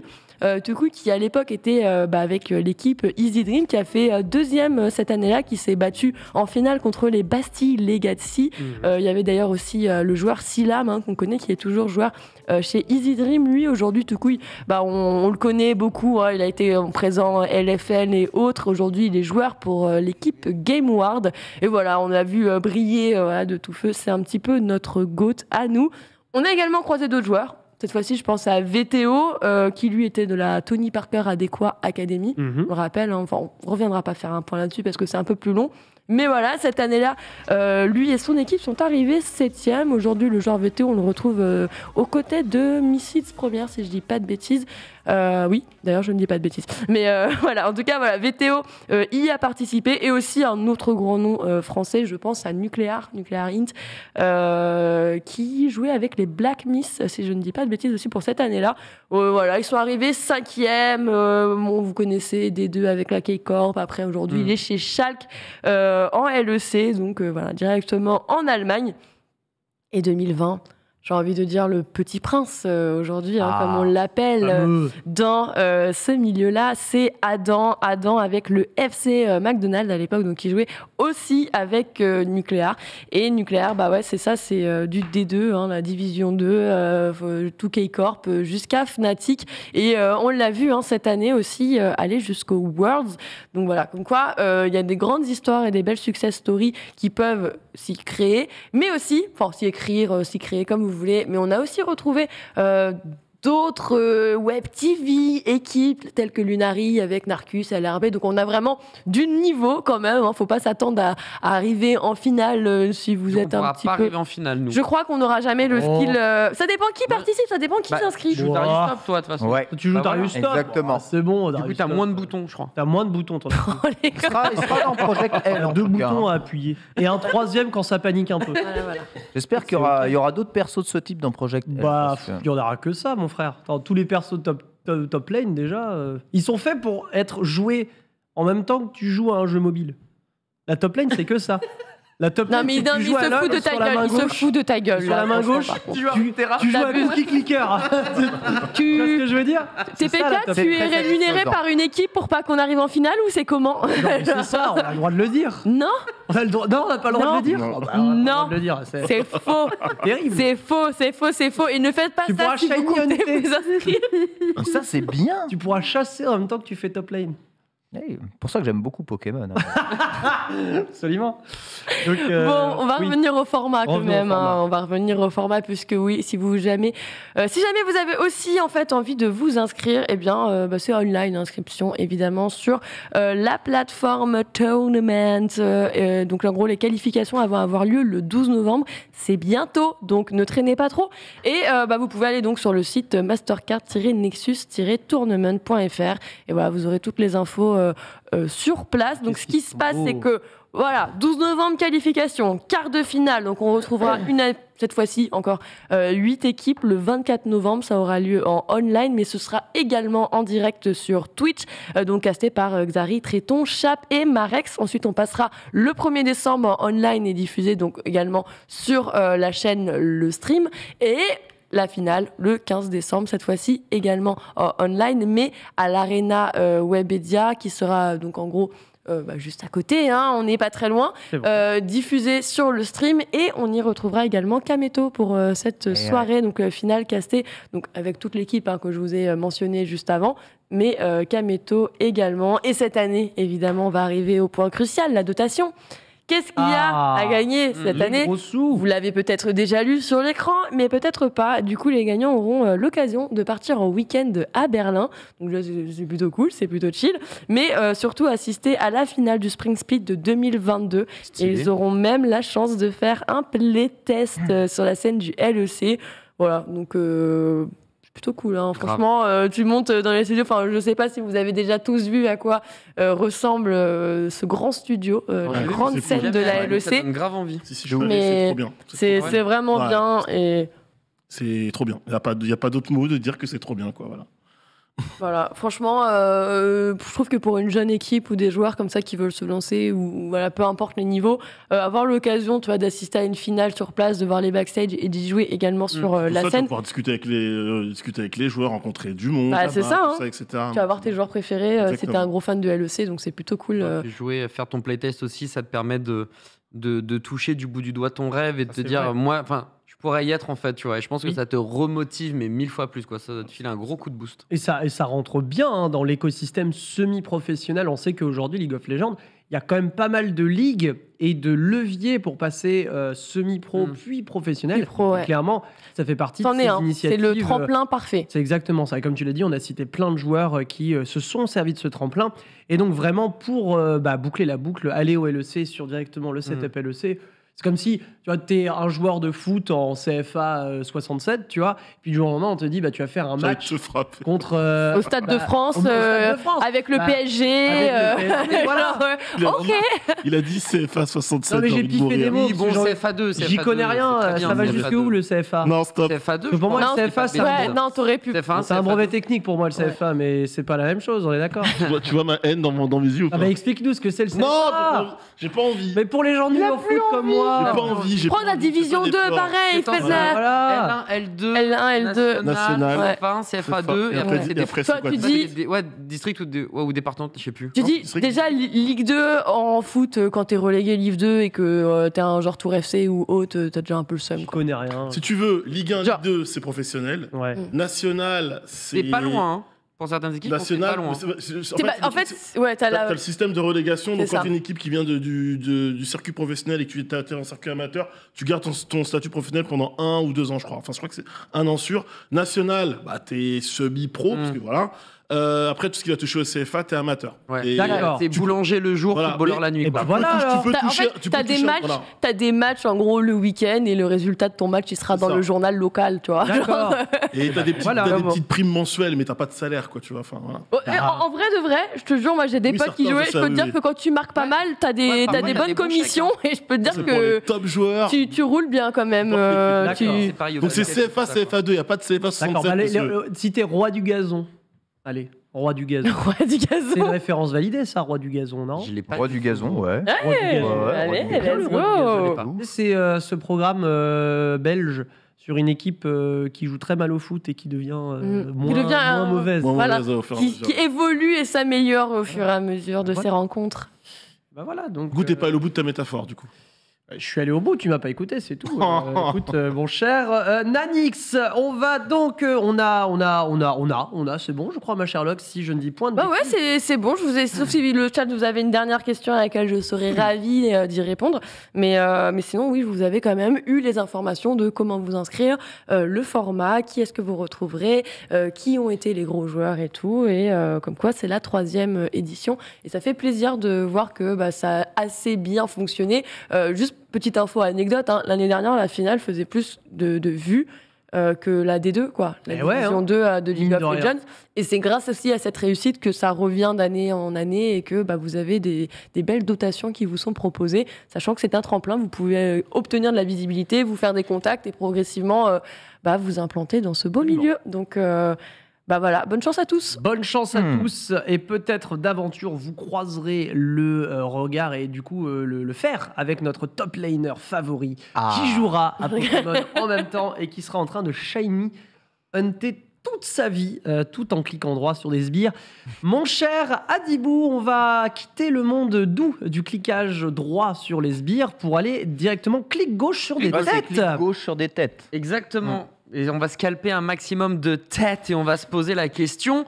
Mais euh, la Call of Duty League, elle est où? Euh, La Call of Duty, malheureusement, elle est où? Parce que comme chaque année ou presque, on va avoir le droit à un Call of Duty au pied du, du sapin. Et cette année, c'est Call of Duty Vanguard qui va remplacer dans le cœur des joueurs Call of Duty Black Ops Cold War et il va remplacer dans les cœurs des joueurs mais aussi dans les euh, athlètes, dans le cœur des athlètes e-sportifs puisque en Call of Duty League, eh bien Vanguard va aussi prendre sa place de jeu. Euh, voilà, c'est ce qui se passe pour la plus grosse ligue et, et presque d'ailleurs la seule ligue e-sportive de Call of Duty.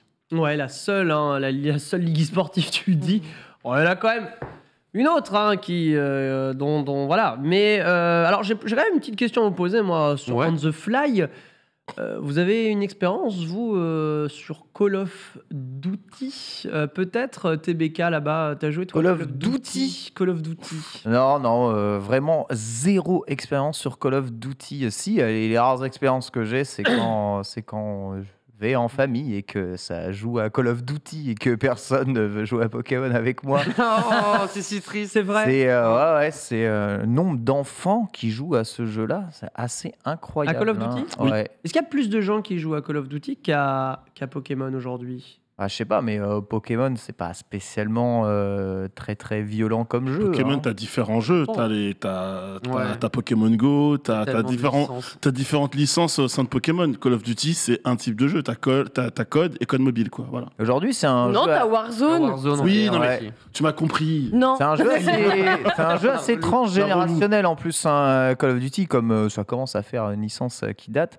Il y a beaucoup de parents qui jouent à Call of Duty et qui euh, mettent leurs enfants euh, ben, en train de jouer à Scandaleux. Call of Duty. Scandaleux. Tu n'as jamais fait ça, toi? T'as jamais mis un gamin devant Non. un jeu qui est Non. pas son âge? Non. Les gosses, ils jouent pas à Ah Call ouais? Of Duty? Mon gamin de 15 ans joue à Call of Duty sous mes yeux. Ouais. Voilà, Sous mes merci. yeux. Le fameux sous mes yeux, hein.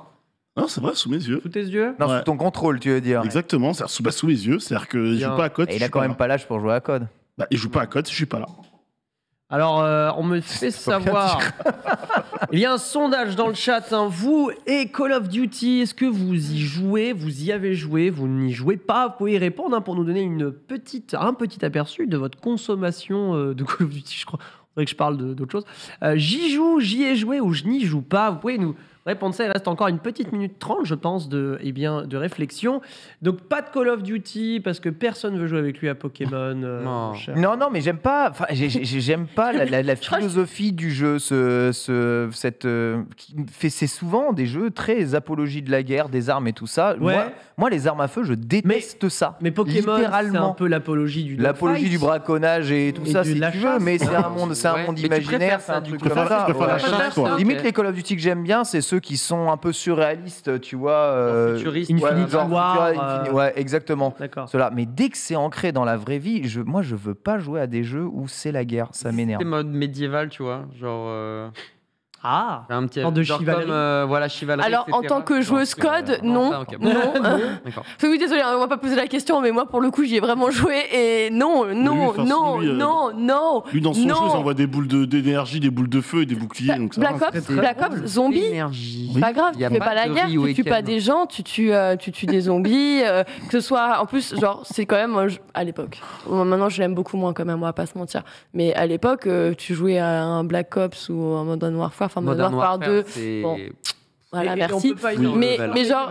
Comment On peut pas imaginer ça en Pourquoi tu, médiéval pourquoi tu veux faire ça sur Mais alors- pourquoi ou alors médiéval, euh, mais- avec Première Guerre mondiale. C'est bon, mais allez jouer à des MMORPG, Ouais. laissez-nous tranquilles Non, mais- en fait, non, genre, mais- non, mais je voilà. sais pas pourquoi Plutôt vous que d'avoir des gros snipers, t'as des pures arbalètes, euh, t'as Ouais. des arcs et Non des mais flèches, vas-y, on, t'as on- des- on a fait, on a fait les, les anciens temps, on a fait machin, et en plus Code, il te propose quand même, enfin à l'époque, te proposait quand même des expériences assez différentes. Enfin moi perso, je jouais beaucoup en zombie, je faisais euh, du Kino d'Artoton, bah tu faisais le secret de Kino, tu faisais Shangri-La, tu faisais le secret de Shangri-La, donc tu avais quand même des, des joueurs de, des heures de jeu online Ouais. et des choses à faire, et c'était pas euh, seulement jouer à faire la guerre quoi. Donc euh, pour le coup, il y avait quand même de la regarder des variété. zombies au Le Moyen Âge. le seul truc de bien là dans votre idée médiévale, c'est qu'à la place du goulag, t'as un duel de chevalier quoi. Stylé. Ah ouais Non Non En shoot Bon, bah, pas d'arbalète. Et puis des frondes, et puis des trucs, on pourrait se marrer, quoi. C'est- Thierry la France. C'est ma, sensibilité personnelle. J'aime pas trop le côté euh, arme à feu réaliste dans, dans, dans les jeux vidéo. D'accord. Déjà, le Mais côté t'aimes arme à pas les feu, j'aime FPS de base.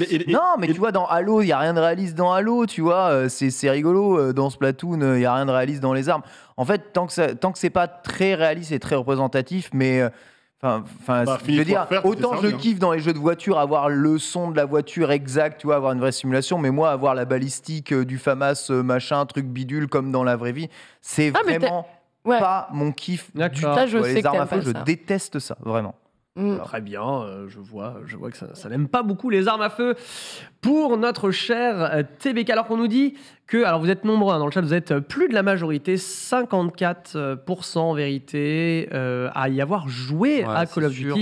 C'est sûr, c'est un sûr. bon produit culturel, ça. Bien sûr, euh, ouais, un des plus vendus les, euh, enfin les, Non, les, les années après. euh, En même, ça. En même temps, tu sors un jeu par an, quoi. C'est un Donc, aussi, mais voilà, c'est un duel avec FIFA. Après, il y a ans, Animal ouais. Crossing qui a chapardé la première place. Ouais, euh, bon, parce que c'est Animal Crossing et le confinement, mais ça reste un marronnier, ça reste un jeu qui sort effectivement tous les ans. Oui. Un grand classique, il change à peu près, voilà, au lieu de ça se passe en 2042 pour faire plaisir à, à TBK, bon, ça se passait en 2021, puis après, dire, ça. non, mais en fait, ça se passait en 1990 et on va revenir, enfin, toujours une boucle finalement temporelle, euh, temporelle pardon, les, Call of Duty. Et pour revenir du coup sur la partie e-sportive de la Call of Duty League, qu'est-ce que c'est? Ben, C'est une ligue fermée comme l'Overwatch League, donc on sent déjà le tampon euh, Activision Blizzard, euh, où tu as 12 équipes qui vont se battre sur 5 stages. Il y a un major à la fin de chaque stage.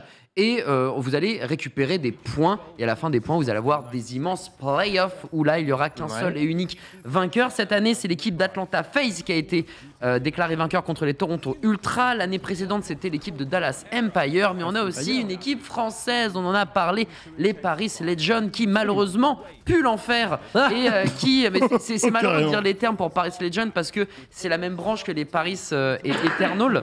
Et, mais c'est vrai que les Paris Legends, il y avait un Français effectivement qui s'appelait Breezy, qui était un épouvantail, qui n'a pas joué, qui était même pas remplaçant. Il a dû euh, aller jouer. C'était la des caution française. Hein. Exactement. il est, il- on l'a fait descendre en Game Challenger pour après revenir avec Trainard pour aller jouer. Enfin, c'est horrible parce que la com, elle a été tournée autour de lui. C'est lui qu'ils ont mis Ouais. en avant. Et je me rappelle très très tôt ici, dans les, dans, dans, dans, dans, dans les couloirs de, de, de Webedia, où on parlait de Paris Legend. Le, le débat, c'était de se dire à quel moment Breezy va passer en mode euh, joueur. Parce Ouais, qu'il avait le côté ambassadeur. question, ouais. sur il même sur les games d'en- Même sur les games d'entraînement, il Ouais, était pas présent. Quoi.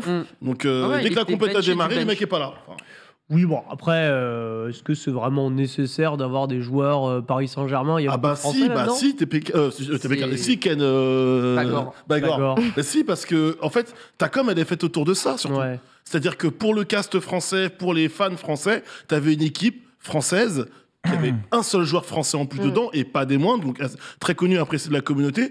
Bah forcément, Truc, dans- ouais. dans la- surtout dans la com, tu le mets en avant. En fait, c'est ça que je veux te dire, c'est que Et surtout, c'est cette com qui a été faite là, Oui. parce que euh, la France a, un- a une position quand même assez cruciale sur Bah oui. le sport de Call of Duty, quoi. C'est pas n'importe le quelle senti- nation non plus.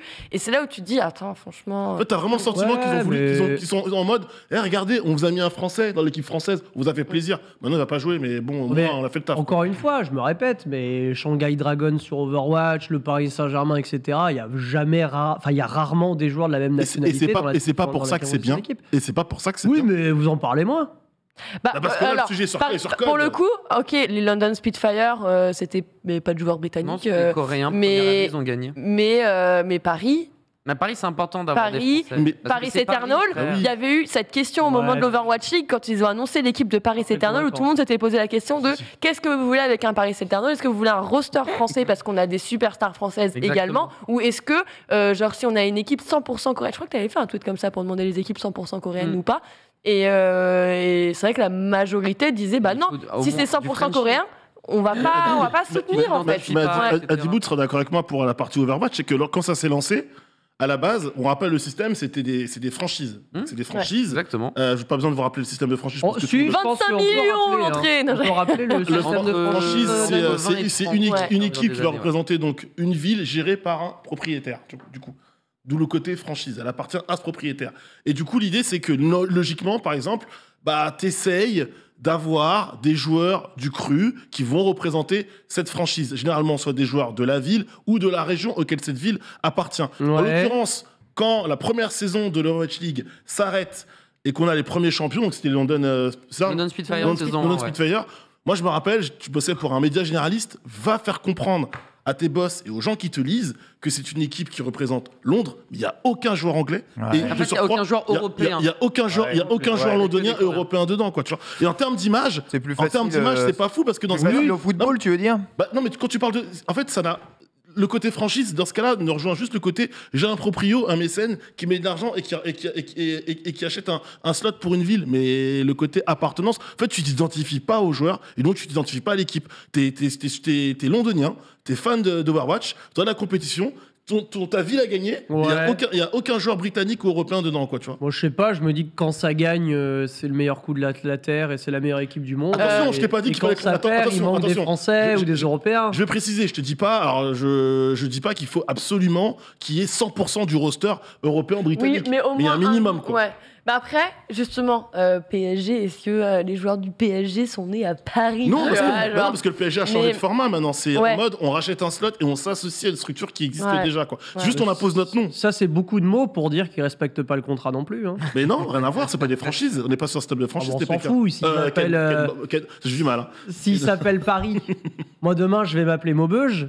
Si j'ai pas des mecs de Maubeuge, ça va l'afficher mal. Non, mais ça n'a rien à voir. Là, c'est la marque Paris Saint-Germain qui s'associe à Ah, une structure. C'est C'est la une marque. marque. Non, mais oui, c'est une marque. Bah si, c'est une marque. Ah, mais très bien, je, je, je. J'aime Non, beaucoup mais ta mauvaise foi, Ken. Bah oui. J'aime C'est beaucoup c'est comme ça qu'on fait. Mais tu vois, euh, ouais. je me dis, il se passe quelque chose. Un J'ai envie de C'est très bien. C'est bien ou pas? Ah, Il y a un tu vois? truc. Il y a un truc. Moi, j'ai appris. J'ai beaucoup bossé hein, avant de venir. Ne, vous dites pas comme ça, il a pas bossé, c'est pas vrai. Euh, on reprend évidemment, Bien sûr, on euh, mon reprend. cher Adibou, puisque tu le disais. euh, donc, la Call of Duty League, on en est là. Le système de franchise, on Oui. le disait, joueur pas de la région ou pas. C'est pas grave, on a une existence avec Call of Duty League. Exactement, et on va rentrer dans la troisième année euh, dans quelques mois. Il n'y a pas de date encore annoncée. On suppute que c'est fin janvier, février, comme c'était le cas les deux précédentes années. Donc voilà, on croise les doigts pour que ça soit ça. Mais il y a euh, bel et bien un événement qui fait beaucoup de bruit, mais c'est vraiment basé sur Call of Duty Vanguard, pas sur la Call of Duty League, puisque hier il y a eu une World Premiere Oui. avec des rappeurs, il y a eu Lil Jon, des artistes et Première mondiale. des euh, joueurs pros et c'était notamment euh, Scum je crois qui était là et euh, bah voilà ça a été une super fête pour annoncer le jeu qui sortira le 5, 5 novembre hein, voilà si je dis pas de bêtises donc on a demain. fait une giga teuf du côté euh, eh bien de- du pays de l'oncle Sam on a vu des joueurs pros, donc c'est rassurant, ils sont toujours là, mais on n'a toujours pas de news en fait sur la Call of Duty League et il y a, je crois, une seule équipe qui a son roster réellement complet des joueurs à l'entraîneur, sinon les 11 autres teams on sait pas. Il, y a, il manque pas. des joueurs, il manque des coachs, des fois il y a rien.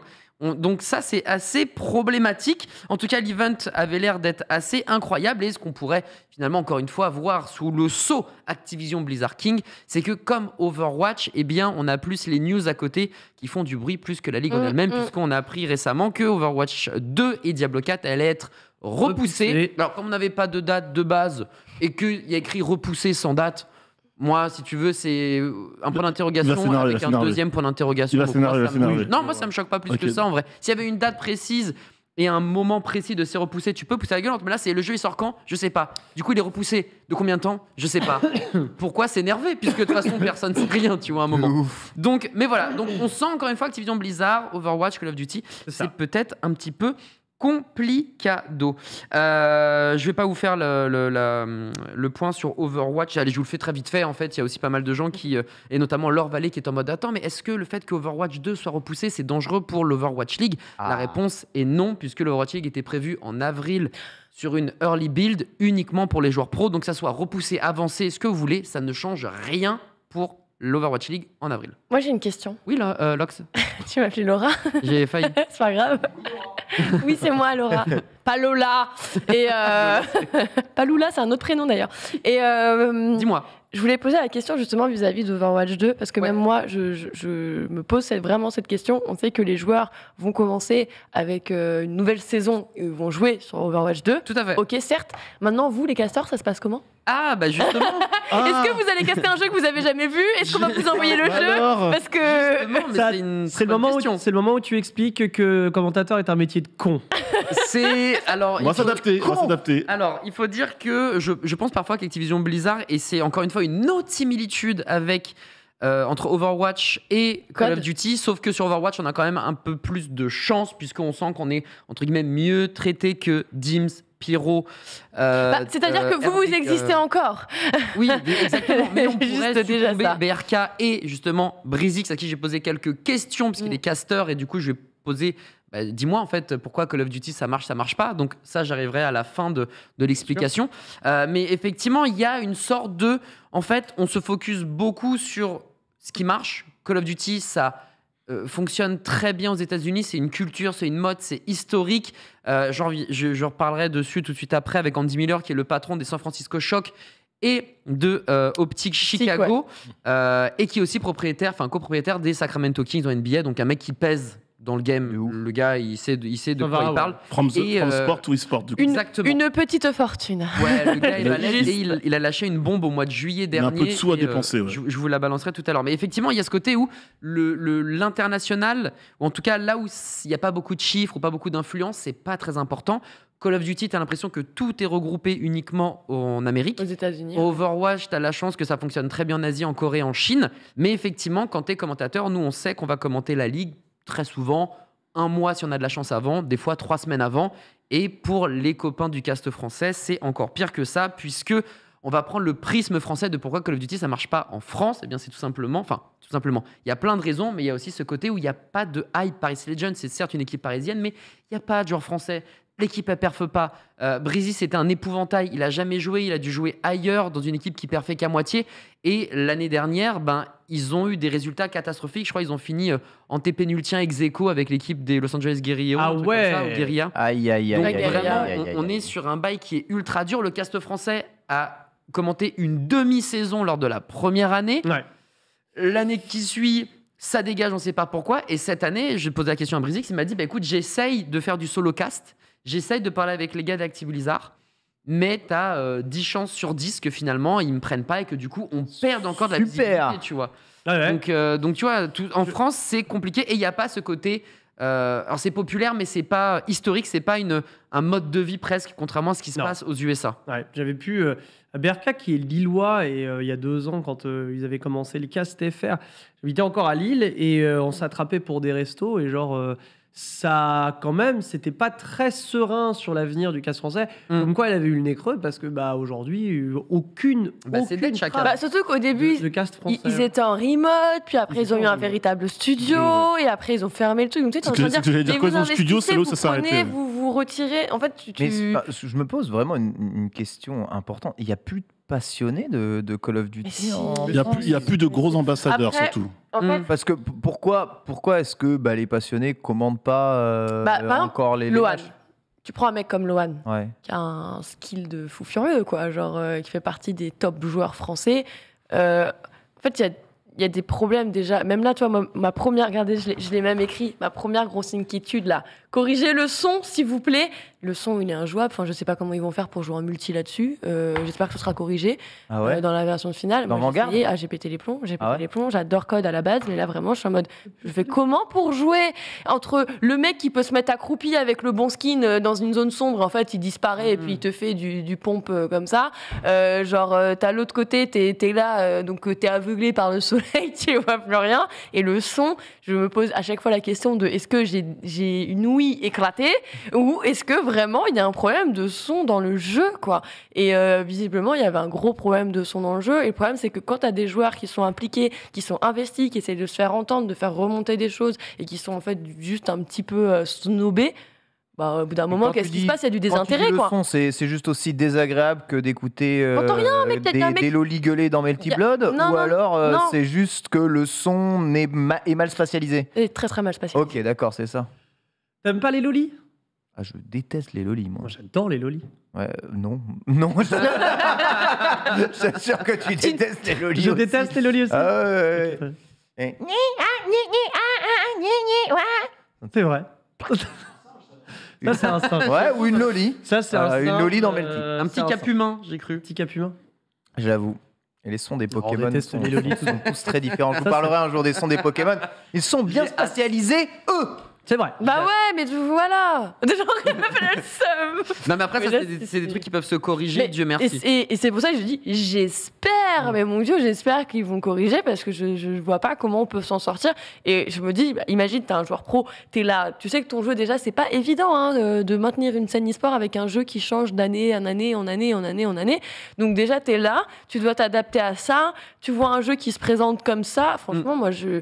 J'ai beaucoup, beaucoup d'admiration pour les joueurs pro de Call of Duty parce que bah, faut en vouloir, quoi. Faut vraiment aimer Bah, cette chaque licence. année, t'as un nouveau jeu, t'as des mises à jour qui sont Ouais. faites pendant les tournois également, ce qui fait qu'une arme totalement craquée peut être bah, nulle, C'est plus Fortnite, en fait, utilisable, non mais là, t'avais. mieux structurée quand même. Non, mais. Est-ce qu'on se poserait pas tous sur Warzone et on réglerait le problème là, Ouais. Call of Duty, franchement. Ouais. Ouais, mais c'est un BR, donc là, pour le coup, c'est vraiment pas la même chose. C'est pas la même dynamique, c'est pas le même plaisir de jeu. Moi, j'a- j'aime beaucoup Code. Je suis un peu moins fan, mais pas de Warzone, juste des BR de manière globale. Donc, va dire à un joueur pro Go Warzone, sachant que Warzone C'est a pas- fait aussi vrai, pas mal je te jure de que dégâts. c'est Ouais, vraiment ça, pas c'est la vrai, même chose. la pas Tu peux sortir pas- euh, code, euh, pas code, code le multi. Mais si, il y a pas la code même mobile, nervo- c'est pas code un multi, c'est juste un, co- C'est un code multi, mais justement, c'est ce que Ouais, je il- dis. il joue comme multi. T'as et Warzone et. ils changent pas tous les ans code mobile. Non, t'as des peuvent mises à pas- jour Alors, ultra non, mais ils se mettent à jour avec le code euh, de. Par exemple, Warzone. Tu, tu Oui, peux te demander, tu peux te code demander mobile, quelle est l'utilité pas. d'acheter un code quand tu joues à Warzone. Tu vois, tu vas te dire pourquoi en fait finalement tu vas racheter un jeu tous les ans Comme- si t'as Euh, comme Warzone. dit Sauf que comme non, c'est pas le même si jeu, tu- c'est des maps fermées, c'est pas le même principe. Non, jeu. et bah justement, Warzone, euh, il était en mode Cold War avec le Cold War. Là, il va passer avec une Mm. mise à jour Vanguard avec une toute nouvelle map, beaucoup plus Ouais. grande, avec euh, un peu de, de- beaucoup de végétation, ce genre de choses. Et grosso modo, si toi t'achètes le Call of Duty euh, Vanguard, tu vas te retrouver avec un avantage un petit peu sur Warzone, puisque bah forcément, tu vois, il y a une connexion qui se crée. Donc tu peux pas. Euh, Enfin, moi, je suis joueur pro, typiquement euh, code. Tu me dis va sur Warzone comme ça, je te dis mais non, enfin c'est pas du tout le même jeu. Là j'ai un jeu euh, nerveux avec du respawn, ce genre de choses que tu prends en main. Tu là c'est comme si tu passes de euh, code à Valorant aussi. Hein. Pourquoi pas hein, tant qu'à faire, c'est Oui, oui, c'est oui, quasiment ça quoi. Ce que je comprends parfaitement. Ma question est donc pourquoi ne pas faire comme code mobile, mais sur console PC Voilà, avec leur multi, plutôt que d'à chaque fois réinventer la roue? Parce que. Justement, ça coûterait que moins cher. Mais non, bah non, eux millions ça leur rend moins d'argent. Ouais, ça leur rend moins d'argent. Activision, ça les intéresse de multi. Bah, tu crois que code mobile, ça rapporte pas d'argent Non, Bah mais si, ça justement. Mais, ouais. mais pour la version, euh, l'autre version euh, PC et console, eux, ils ont, enfin, c'est un gagne-pain de dingue, tu vois. Les Ouais, mecs, ils vont pas se dire, ok, on va leur sortir pas, un truc avec des mises à jour et on les met bien, non. Pareil pour FIFA, tu pourrais faire des mises à jour de FIFA tous les ans, mais non, il y a toujours le, le disque à acheter, et puis hop, c'est toujours 60-70 balles. Ça va, qui partent. évolu- ça va évoluer, ça. Ouais, mais pour le moment, c'est le cas depuis. Euh, En tout cas, cette que je saison- tout cas, cette saison, c'est le cas. 96 Ouais, mais cette saison, c'est le cas, mais ça va évoluer. Les gens rachètent. Ouais. Tant que je rachète, t'as raison. Tant que Eh, je le eh. rachète, t'as raison. Tant, tant que tu, tant que tu gagnes, tu joues, hein Voilà. Mais il n'y a, hein a pas que le multi dans Call of Duty. La joie, ce nouveau, il a tous, les, campagne, tous les anciens euh, modes du les- précédent. la tu vois. euh. Bah, campagne, c'est trop court, mais c'est toujours une masterclass. Mais la campagne, Oui, il y a des gens qui achètent court. Call of Duty pour les 3 heures de campagne. Je fais partie de ces joueurs et j'en souffre parce que. Ah oui, Call- 70 balles pour 3 heures. Franchement, Cold, War, c'est une honte. Ou ailleurs, Cold War, d'ailleurs. c'est une Ah honte. La campagne de Cold War, c'est une honte. Modern Warfare, c'est incroyable. La campagne de Modern Warfare est incroyable. Courte, mais elle est incroyable. Par contre, euh, Cold War, c'est même pas une campagne à ce stade. hein. Un DLC, peut-être Bah, sais écoute, euh, ou alors euh, euh, jouer Age of, euh, Age of Empire 4, la campagne euh, chiadée, hein, je te le dis. Ouais, ouais. Mais euh, bref, euh, du coup, la France, on parlait Ouais, du succès euh, de Call of Duty en France. On l'a bien compris, euh, c'est surtout un manque de hype, euh, voilà, euh, au niveau des joueurs, des équipes en place. Mm. On parle vraiment du volet e-sport, on parle pas du jeu en lui-même. le jeu se vend par palette et par paquebot entier. T'inquiète pas, au Leclerc, au Leclerc du coup à minuit, euh, les gens seront là en train de faire la queue Évidemment, pour et on se doute que dans le chat, vous êtes nombreux et nombreux à avoir déjà précommandé le jeu. Mhm. Mais là, on parle vraiment du prisme e-sport. Maintenant, en France, ça ne marche pas, mais il y a un pays dans lequel Call of Bah oui. Duty, la sauce prend fort. Là, nos, nos voisins très très lointains des États-Unis de l'Amérique, qui eux vouent un culte à Call of Duty. Et du coup, je vais reprendre les mots d'Andy Miller. Alors, je vous ai dit, hein, euh, co- euh, co-patron des Sacramento Kings NBA, grosse équipe de NBA. Euh, il possède les San Francisco Shock. Il possède du coup les Optiques Chicago. Il s'appelait anciennement les Optiques gaming. euh, racheté, ouais. Et, Energy aussi. Et qui est en plus patron de Energy eSports, donc pareil, une structure immensément connue dans le domaine du jeu vidéoludique compétitif, qui a tout simplement dit en juillet dernier, si j'avais le choix aujourd'hui, eh bien je ne prendrais pas euh, d'équipe Overwatch League. Je délaisserais San Francisco Shock pour garder l'équipe des Chicago Huntsmen. Absolument. Pourquoi? Parce que il a tout simplement, tout simplement pris un exemple hyper simple. Il demande aux joueurs de Sacramento, donc les joueurs de NBA, hein, euh, il, il demande alors euh, Sinatra, tu veux qu'on. C'est qui Sinatra? Ok Et par contre, le joueur va dire Par contre, Scump là, il y a moyen de jouer avec lui sur Call of Duty et tout. En fait, les gars sont tous matrixés par Ouais. Call of Duty qui a Ouais. une fame infinie et qui du coup plaît. Et c'est pour ça, malheureusement, bah, que. Comme je l'avais dit, on va se focus sur ce qui se passe aux USA et on va délaisser malheureusement la France, l'Espagne, l'Allemagne, etc., qui eux n'ont carrément pas eu de cast tout court, par exemple. Ouais. Donc il y a ce côté où ben, Andy Miller résume très bien les choses. Les États-Unis, c'est un pays de Call of Duty et pas d'Overwatch. Donc pourquoi se prendre la tête? Ça coûte des millions de dollars en termes d'investissement. Le ticket d'entrée à la base Call of Duty euh, est aux alentours des 25 Ouais. millions. Pour Overwatch, c'était 20 millions. On sait tous que ça n'a pas été le prix qu'ils ont définitivement payé, mais il faut se dire que ça reste quand même au moins deux chiffres, donc au moins 10 millions de dollars. Ouais. Donc les gars a dépensé 20 millions comme ça. Et il l'a dit alors que San Francisco était champion Mhm. d'Overwatch League Mais- et qu'il allait gagner le titre juste après quoi. vrai. Mais quelque Donc part, le gars dit ça alors qu'il est champion. Mais quelque part, est-ce qu'ils n'ont pas fait les choses à l'envers? Parce que le partir sur Overwatch d'abord pour lancer ce type de ligue qui ressemble au- à la NBA tout simplement, à ce Mhm. modèle, et ensuite, et ensuite aller chercher Code qui était un petit peu en souffrance, ça aurait peut-être fallu se lancer sur Code d'abord vu la popularité du jeu aux États-Unis et peut-être aller sur Overwatch après quoi. Fa- C'était pas le propos. Enfin, le, Blizzard Activision, quand ils annoncent la Overwatch League, c'est justement, c'est le nouveau. En fait, Overwatch est pensé pour être un titre e-sport à la base. Ouais. Là où Call of Duty n'avait pas ce marquage. Mm. Et donc, quand Overwatch sort, on se dit, on va mettre un écosystème e-sport premium parce que le jeu et la philosophie qu'on a avec ce Ouais, jeu. mais t'en as un, t'en as- ok. t'en as un qui a une base fan déjà bien installée dans le pays dans lequel tu vas le Mais lancer. incompatible. Parce qu'à l'époque, c'était incompatible. Et à l'époque, il fallait bien aussi des crash tests pour aménager la chose sur le gros morceau qui est Call of Duty. En fait, Ouais. Overwatch League, c'est ni plus ni moins que la chambre de décompression de la Call of Duty League. Il faut le voir comme ça. C'est la draft, en fait. Mm. hein. puisque tous les ressorts que tu trouves aujourd'hui dans Call of Duty ont été Mm. usés jusqu'à la corde dans Overwatch. Il y en a un sur lequel ça marche mieux dans le public cible, les États-Unis, et il y en a un qui a pris cher. Parfois même à tort, parce que je suis convaincu que l'Overwatch League a pris cher sur pas mal d'aspects, alors que c'était même pas de leur faute. Enfin, typiquement, euh, la, la- la saison où on devait jouer en homestand, Ah, les homestand, Oui, ouais. ça. c'est littéralement. le- Enfin, on- alors le principe de homestand, c'est on va jouer à domicile, à l'étranger, Après- etc. Le Covid a foiré. après, après TPK, tu l'annonces, tu annonces ce système-là dès la première saison en- avant de dire oui, mais finalement, ce sera mis en place dès la saison suivante. En fait, c'est ils ont pris cher parce qu'ils ont promis des choses Oui, au début bon, qui étaient, à l'envers, voilà, qui oui. étaient, qui étaient, qui étaient, qui étaient pas tenables dès le départ. La, la com a été, a été particulièrement mauvaise. Ah oui. Mais il y a plein de trucs justement, et la question que que- qu'amène TPK là-dedans, c'est comment tu rends sa cape d'invisibilité? Euh, Pardon, à Ken euh, Bagor, pardon. Merci. Ken amène justement comment tu rends ta cape d'invisibilité à Harry Potter? Comment Ah. tu arrives à faire en sorte que hop, la Call of Duty League n'est plus invisible? Parce que quand tu regardes dans le rétroviseur ce qui se passe avec Activision Blizzard King, c'est que euh, HOTS, donc Heroes of the Storm, Bon, plus d'e-sport, StarCraft, c'est un peu vieux, StarCraft, donc Ouais. Tu sais pas Blizzard qui gère. voilà. c'est puis ils, ont, ESL ils ont- qui ils ont gère. lâché, c'était peut-être pas plus mal. Overwatch, bon, la transition Overwatch 1, Overwatch 2 est vraiment très compliquée. les- Le Covid a tout cassé, etc. World of Warcraft, qu'on peut vraiment appeler ça de l'e-sport quand il s'agit de faire des MM le plus rapidement possible Est-ce que c'est vraiment intéressant? Bref, on sent déjà qu'au niveau e-sport, pour Activision Blizzard, c'est compliqué. Donc, comment on fait Euh, Sachant que, pareil, en termes de vues, bah, cette année, on a perdu 28% sur la finale. En termes d'heures vues, on a perdu 40%. C'est des Euh, chiffres énormes. 40%, 40% d'heures vues perdues, hein. ouais, c'est énorme. Et juste, on a récupéré plus 2% de viewers moyens Alors- tout au long de l'année. Mais sinon, on En- des gifles de titans colossales. En heure vue, c'est heure vue en direct ou heure de visionnage tout court avec les replays? Euh, c'est heure vue en direct, il me semble. C'est sans compter. Ouais, mais euh, c'est sans leur, compter les euh, oui, bah, les horaires aussi, les gars, en fait. euh, Oui, mais il y a, euh, je crois qu'il y avait euh, plus, plus 36 heures par euh, événement sur euh, cette année. En Et plus, ils font moins de vues que l'année dernière où il y avait moins 36 heures par événement. Donc en plus de ça, tu vois, il y a vraiment un, un vrai gap qui est en train de se former. Donc comment on peut faire en fait? Est-ce que c'est déjà le côté...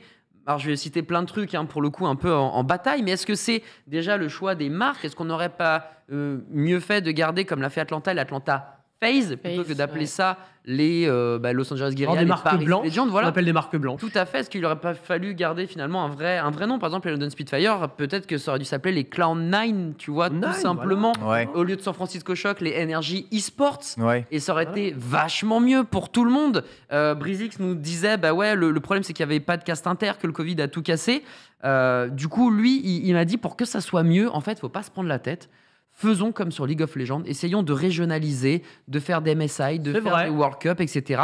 Et la sauce va prendre. Mais le problème, c'est que il n'y a pas de CNT2, ou alors elle est Ouais. vraiment Alors, pas ouf. oui, elle encore moins de CNT3. il y en avait une au début euh, quand ils faisaient les, bah, quand il y avait les LAN en fait. C'était les Mm. seuls moments où ils organisaient des events physiques quand il y avait les LAN, il y avait les challengers et les challengers ils étaient tous. euh, J'avoue, Alors c'était un peu le parking hein, quand Ouais, même. ouais. C'était vraiment le souterrain, hein, Mm, mais C'est vrai. Mais c'était quand même une opportunité pour des insiders, tu vois, de pouvoir Ouais. euh, se faire remarquer et d'aller concourir aussi dans la ligue sans avoir des millions à aller, euh, à aller sortir. Et, euh, et ça a été malheureusement pas très bien géré, quoi. Et puis YouTube, mine de rien. Parce Elle a que- Oui, plateforme. c'est vrai.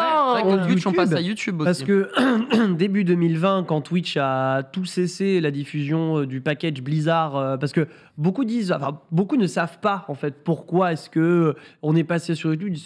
Ben, Dans le grand public, ça dit oui, Blizzard aurait jamais dû aller sur YouTube. Ils y sont pas allés, ils ont été forcés d'y aller, puisque c'est Twitch qui a cut euh, à la fin du contrat, qui a dit on ne renouvelle pas l'exclusivité de diffusion, on veut plus de vous parce que c'est pas bien, le produit n'est pas bien. Et c'est YouTube qui est venu toquer à la porte en disant nous on veut bien récupérer parce que votre produit il vaut rien, mais nous s'il vaut rien ça nous intéresse, ça nous fait du contenu.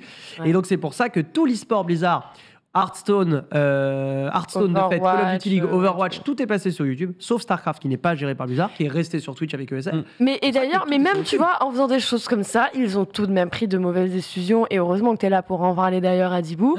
C'est rappelle-toi l'énorme drama de votre passage YouTube où vous ne saviez même pas sur quelle chaîne vous alliez Oui, atterrir. Il y avait ouais. une chaîne Overwatch en France, et Overwatch FR. Ils se sont dit ah mais non, mais on va pas, on va pas euh, tout mélanger entre Mm. euh, le jeu et l'e-sport. Du coup, ils ont dû ouais. Repartir de zéro. Mm. Avec euh, Overwatch C'est League. que des mauvaises ouais. décisions. Je suis Overwatch désolée. faire, je même plus. Mais oui, effectivement, en fait, on avait- Overwatchleague.fr, exactement. On avait demandé justement au CM, mais pourquoi vous faites pas ça? Pourquoi sur le, le- le Twitter officiel Overwatch qui a des millions et qui est trop stylé, vous parlez pas d'e-sport? Il dit parce qu'en vrai, on va le faire une fois, la deuxième fois, les gens se désabonnent. Je suis en mode frérot, t'as C'est pas vrai. Non, non, frère, si, si C'est je fais ça, vrai. les gens vont se désabonner, c'est pas bon. Donc du coup, il y a vraiment une sorte de. On aime l'e-sport, on veut en faire, mais on se donne pas corps et âme dedans. Donc c'est compliqué. Et dernier point, avant de vous laisser la parole et pourquoi pas discuter autour de ça, euh, on parlait de Gotaga justement qui a envie de faire vivre la scène Call of Duty, qui veut créer et qui va créer une équipe e-sport sur Vanguard. Et ben ça tombe bien parce que. on- Attends, on tu se sais pas, ça se trouve, il va regarder ta chronique, il va faire de marche arrière, tu vois. euh, Non mais parce qu'il se passe un truc là, justement Jimmy Miller, vous savez le mec de ouais. Sacramento, etc. Ouais, ouais. Donc il a dit ouais moi je ferai du Call of Duty. C'est bien. En fait là en ce moment il essaye de revendre son slot et il y arrive pas. Donc Mmh. s'il y arrive Ah, faut qu'il pas, ba- faut qu'il baisse son tarot aussi. Hein. ouais mais t'as pas envie de un truc que t'as dépensé 10 millions, t'as pas envie de le revendre 500. Tu vois ce que je veux dire? T'as pas envie de le Ouais, brader. c'est pas entre ouf, guillemets, tu vois. hein. C'est Mais pas grosso ouf, modo, mais- soit il arrive à vendre, et tant mieux pour lui, et du coup, il n'y a plus de optique. Euh, Chicago, ça va être les Ouais, euh, mais ça la, fait- la eh, Gotaga Corp, euh, historiquement- Chicago, Paris, Istanbul, je sais pas quoi, Historiquement, tu vois. plus d'optique. Mais effectivement, Ouais. plus d'optique. Mais le truc, Ah, c'est que s'effondre. Washington a moonwalk sur le rachat justement de Optic Chicago, ce qui fait que le slot est toujours à vendre. Et c'est pour ça qu'il y a quelques rumeurs qui disent bah, hey, Gotha, bah, go Eh. racheter ce slot en fait, parce qu'il Eh. est libre et il est dispo. Donc voilà, est-ce que ça va se faire ou pas? Mais euh, finalement, le, un outil possible de Gotaga Vanguard où vous allez le voir, bah, il n'y a pas d'autre solution que en Call of Duty League. Donc euh, ça serait peut-être le rachat d'Optic Chicago. Euh, TBK, on parle beaucoup de, de la pyramide inversée en fait dans le- l'e-sport Blizzard, puisqu'au lieu de partir du bas Ouais, pour structurer l'e-sport, on part ça. du haut. C'est ça. C'est pas un peu ça le problème, le e-sport euh, premium? Bah, c'est exactement ce que, ce que je pense. Je pense que euh, devrait continuer de rester bah, par le bas, continuer de développer des tournois, euh, des tournois open, euh, moins de moins de ligues gérées par euh, eh bien Activision, par Blizzard, laisser les fans car ils sont extrêmement nombreux, structurés aussi les tournois Call of Duty un peu partout dans le monde, se greffer à ces tournois, les soutenir, les, euh, les permettre d'exister et ensuite eh bien, euh, eh bien rassembler mondialement sur les meilleures équipes, un peu de façon, de façon régionale, mais intégrer directement tout- toutes ces ligues, que ce soit dans l'Overwatch, de toute façon, ou que ce soit dans Call of Duty, c'est des, des trucs, c'est on te met trop ça là en mode euh, vas-y, ça va être maintenant le seul Mm. format et puis euh, on, on a quelques années pour bêta tester, mais les prix sont hallucinants pour, pour pouvoir rentrer là-dedans. C'est trop c'est trop aux antipodes de, de, bah, de ce que Call of Duty, qui est un jeu populaire. C'est populaire dans le sens où c'est le peuple joue à Call of Duty, Mm. tout le monde joue à Call of Duty, tout le monde connaît Call of Duty, tu vois, par moi quoi. Mais euh, c'est- du coup pas du tout dans ce sens-là qu'il faut, à mon avis, euh, structurer un, un e-sport sur un jeu aussi, euh, aussi populaire que ça. Il faut le laisser vivre et grandir, grandir de lui-même. C'est Mm. dommage de fermer les portes de l'e-sport à énormément de personnes euh, juste à cause bah, de, de ces ligues extrêmement opaques Mm. et terriblement chères. Et je terminerai parce qu'il n'y a plus beaucoup de temps. en disant que pour moi, le meilleur moyen de populariser tout ça, c'est de faire tout sur code mobile. Point final, et que l'e-sport ce soit que code mobile. Là, vous toucherez la totalité des joueurs du monde. Il n'y a pas d'embrouille, tout le monde serait sur les mêmes supports mobiles. Et allez-y, on se Est-ce tape. que c'est pas trop demandé ça Mais le jeu, il est très bien. Les mises à jour baissent pas tout le jeu, toutes les 150 millions de frames. Euh, Voilà, Ouais. tu peux t'investir longtemps dans le jeu. Et plus il y a de joueurs, plus tu peux lisser encore le jeu. Tu fais code mobile, la version PC, code mobile, la version console. Rien, on en a rien à battre, tu vois. Mais l'idée d'avoir le multijoueur, euh, on va dire, avec une structure et un squelette fixe qui évolue certes au cours du temps, mais où tu sais où tu vas. Et comme ça, le multijoueur de Call of Duty est structuré, pas forcément avec les sorties annuelles de leurs jeux qui changent tout Mais à chaque fois. si je peux me permettre le, le- regarde le prochain le, le prochain euh, je sais pas moi prochain KOF 15 tiens prochain King of Fighter jeu de combat il est exclu PlayStation pas Xbox Pas du tout. si exclu console PlayStation bien sûr j'insiste pas il sort tout. pas sur Xbox il sort pas sur Xbox Il sort sur Stadia le jeu. bien sûr mais c'est pour ça que j'ai dit exclu console Stadia, c'est PlayStation une console. Non, j'en passe sur les mots. Euh, TPK. Euh, Est-ce que vraiment on a envie de tout foutre sur mobile? Là, tu vas dire aux joueurs de KOF, euh, non, non, elle est pas là-bas, elle est sur mobile, c'est chiant. Mais KOF n'a pas de problème de sortie annuelle. Enfin, ça n'a rien à voir. Je sais pas, je euh, reprends Ken. Bagord, Ça n'a rien à voir. C'est- c'est- on- là, là, ouais, on vous explique que, que- que Code, il se tire une balle dans le pied parce qu'à chaque fois, le jeu change tous les ans et que c'est un véritable enfer en termes de suivi, tu vois, et qu'à un moment, t'as pas envie de jouer à ça. Euh, avoir un jeu, un multi qui est, on va dire, plus continu dans son évolution et qui va pas faire des sauts comme ça entre, entre les versions, c'est plus stable. Et je comprends l'idée qu'on ne peut pas jouer encore à Modern Warfare 3 aujourd'hui, tu vois, parce que c'est pas le jeu du moment et celui qu'il faut vendre, c'est Vanguard qui sort. Mais mettre en avant la licence Call of Duty de manière générale grâce à l'e-sport, ça peut se faire grâce à Call of Duty Mobile. Et mettre en Mm. avant la licence Call of Duty, c'est permettre aussi à Call Vanguard de se vendre chaque année, pas forcément qu'avec le multi du jeu dont est issu voilà, le, la licence. Très bien, très bien. Ouais, Mon avis. Bien Ah touillé. ouais Bien touillé. Euh, ma Sherlox, euh, on est, on est convaincu de la, la formule code? Ah, ah oui, je, je crois que tu me demandais de- par rapport à Je crois qu'on Academy. me dit que KOF 15 Euh, sort sur Xbox. après. Bah en fait, euh, la formule code mobile me convainc dans les autres pays et je, je sais que ça ne sera jamais le cas ici. Maintenant, la formule actuelle de la, de la Call of Duty League, non. Non, me convient pas, non. Voilà. Non, déjà, Ça voilà puis pas. 12 Non, mais équipes, en est-ce que vrai- c'est pas light aussi 12 équipes C'est pas, c'est pas assez. Non, c'est et, et pour, euh, pour des raisons euh, d'ouverture, et pour des raisons de format, et pour des raisons d'horaire, et pour des raisons de décision qui, à, mes yeux, ne sont pas euh, égales envers toutes les équipes, quoi. D'accord, très bien, Alix, très rapidement, on y C'est un, croit. form- c'est un format qui a de l'avenir, mais il fallait pas le lancer aussi vite, aussitôt, et pas sur un jeu comme Code qui a besoin de renouveau. Donc pour l'instant, c'est non. Peut-être oui dans l'avenir. Pour l'instant, c'est non. Euh, en tout cas, vous pourrez vous faire votre euh, avis dans les jours qui viennent, puisque Call of Duty Vanguard s'accompagnera évidemment de sa ligue. En tout cas, je voulais vous remercier toutes et tous d'avoir suivi ce Lunch Play spécial e-sport. Je voulais remercier mes chroniqueurs et chroniqueuses ici même, et je voulais remercier Ken Bogard d'avoir joué le jeu de ce Donation Goal du Z-Event. Vous l'avez compris, c'était un Donation Goal. Je devais me cosplay en Ken Bogard. J'espère avoir touillé à votre convenance et avoir fait ce fameux rire à votre convenance. Voilà, Ouais. merci à toutes et à tous de nous avoir suivis. Tout de suite, il y a en plateau, si je ne dis pas de bêtises, euh, il y a en plateau, vous voyez, je fais même mieux le taf que Ken Bogard, puisque d'habituellement il fait Oh, je sais pas ce qu'il y a après Bah oui, toutes les semaines c'est en plateau Merde Ouais, ça change. de- Ouais, non, ça change jamais. Ça change jamais.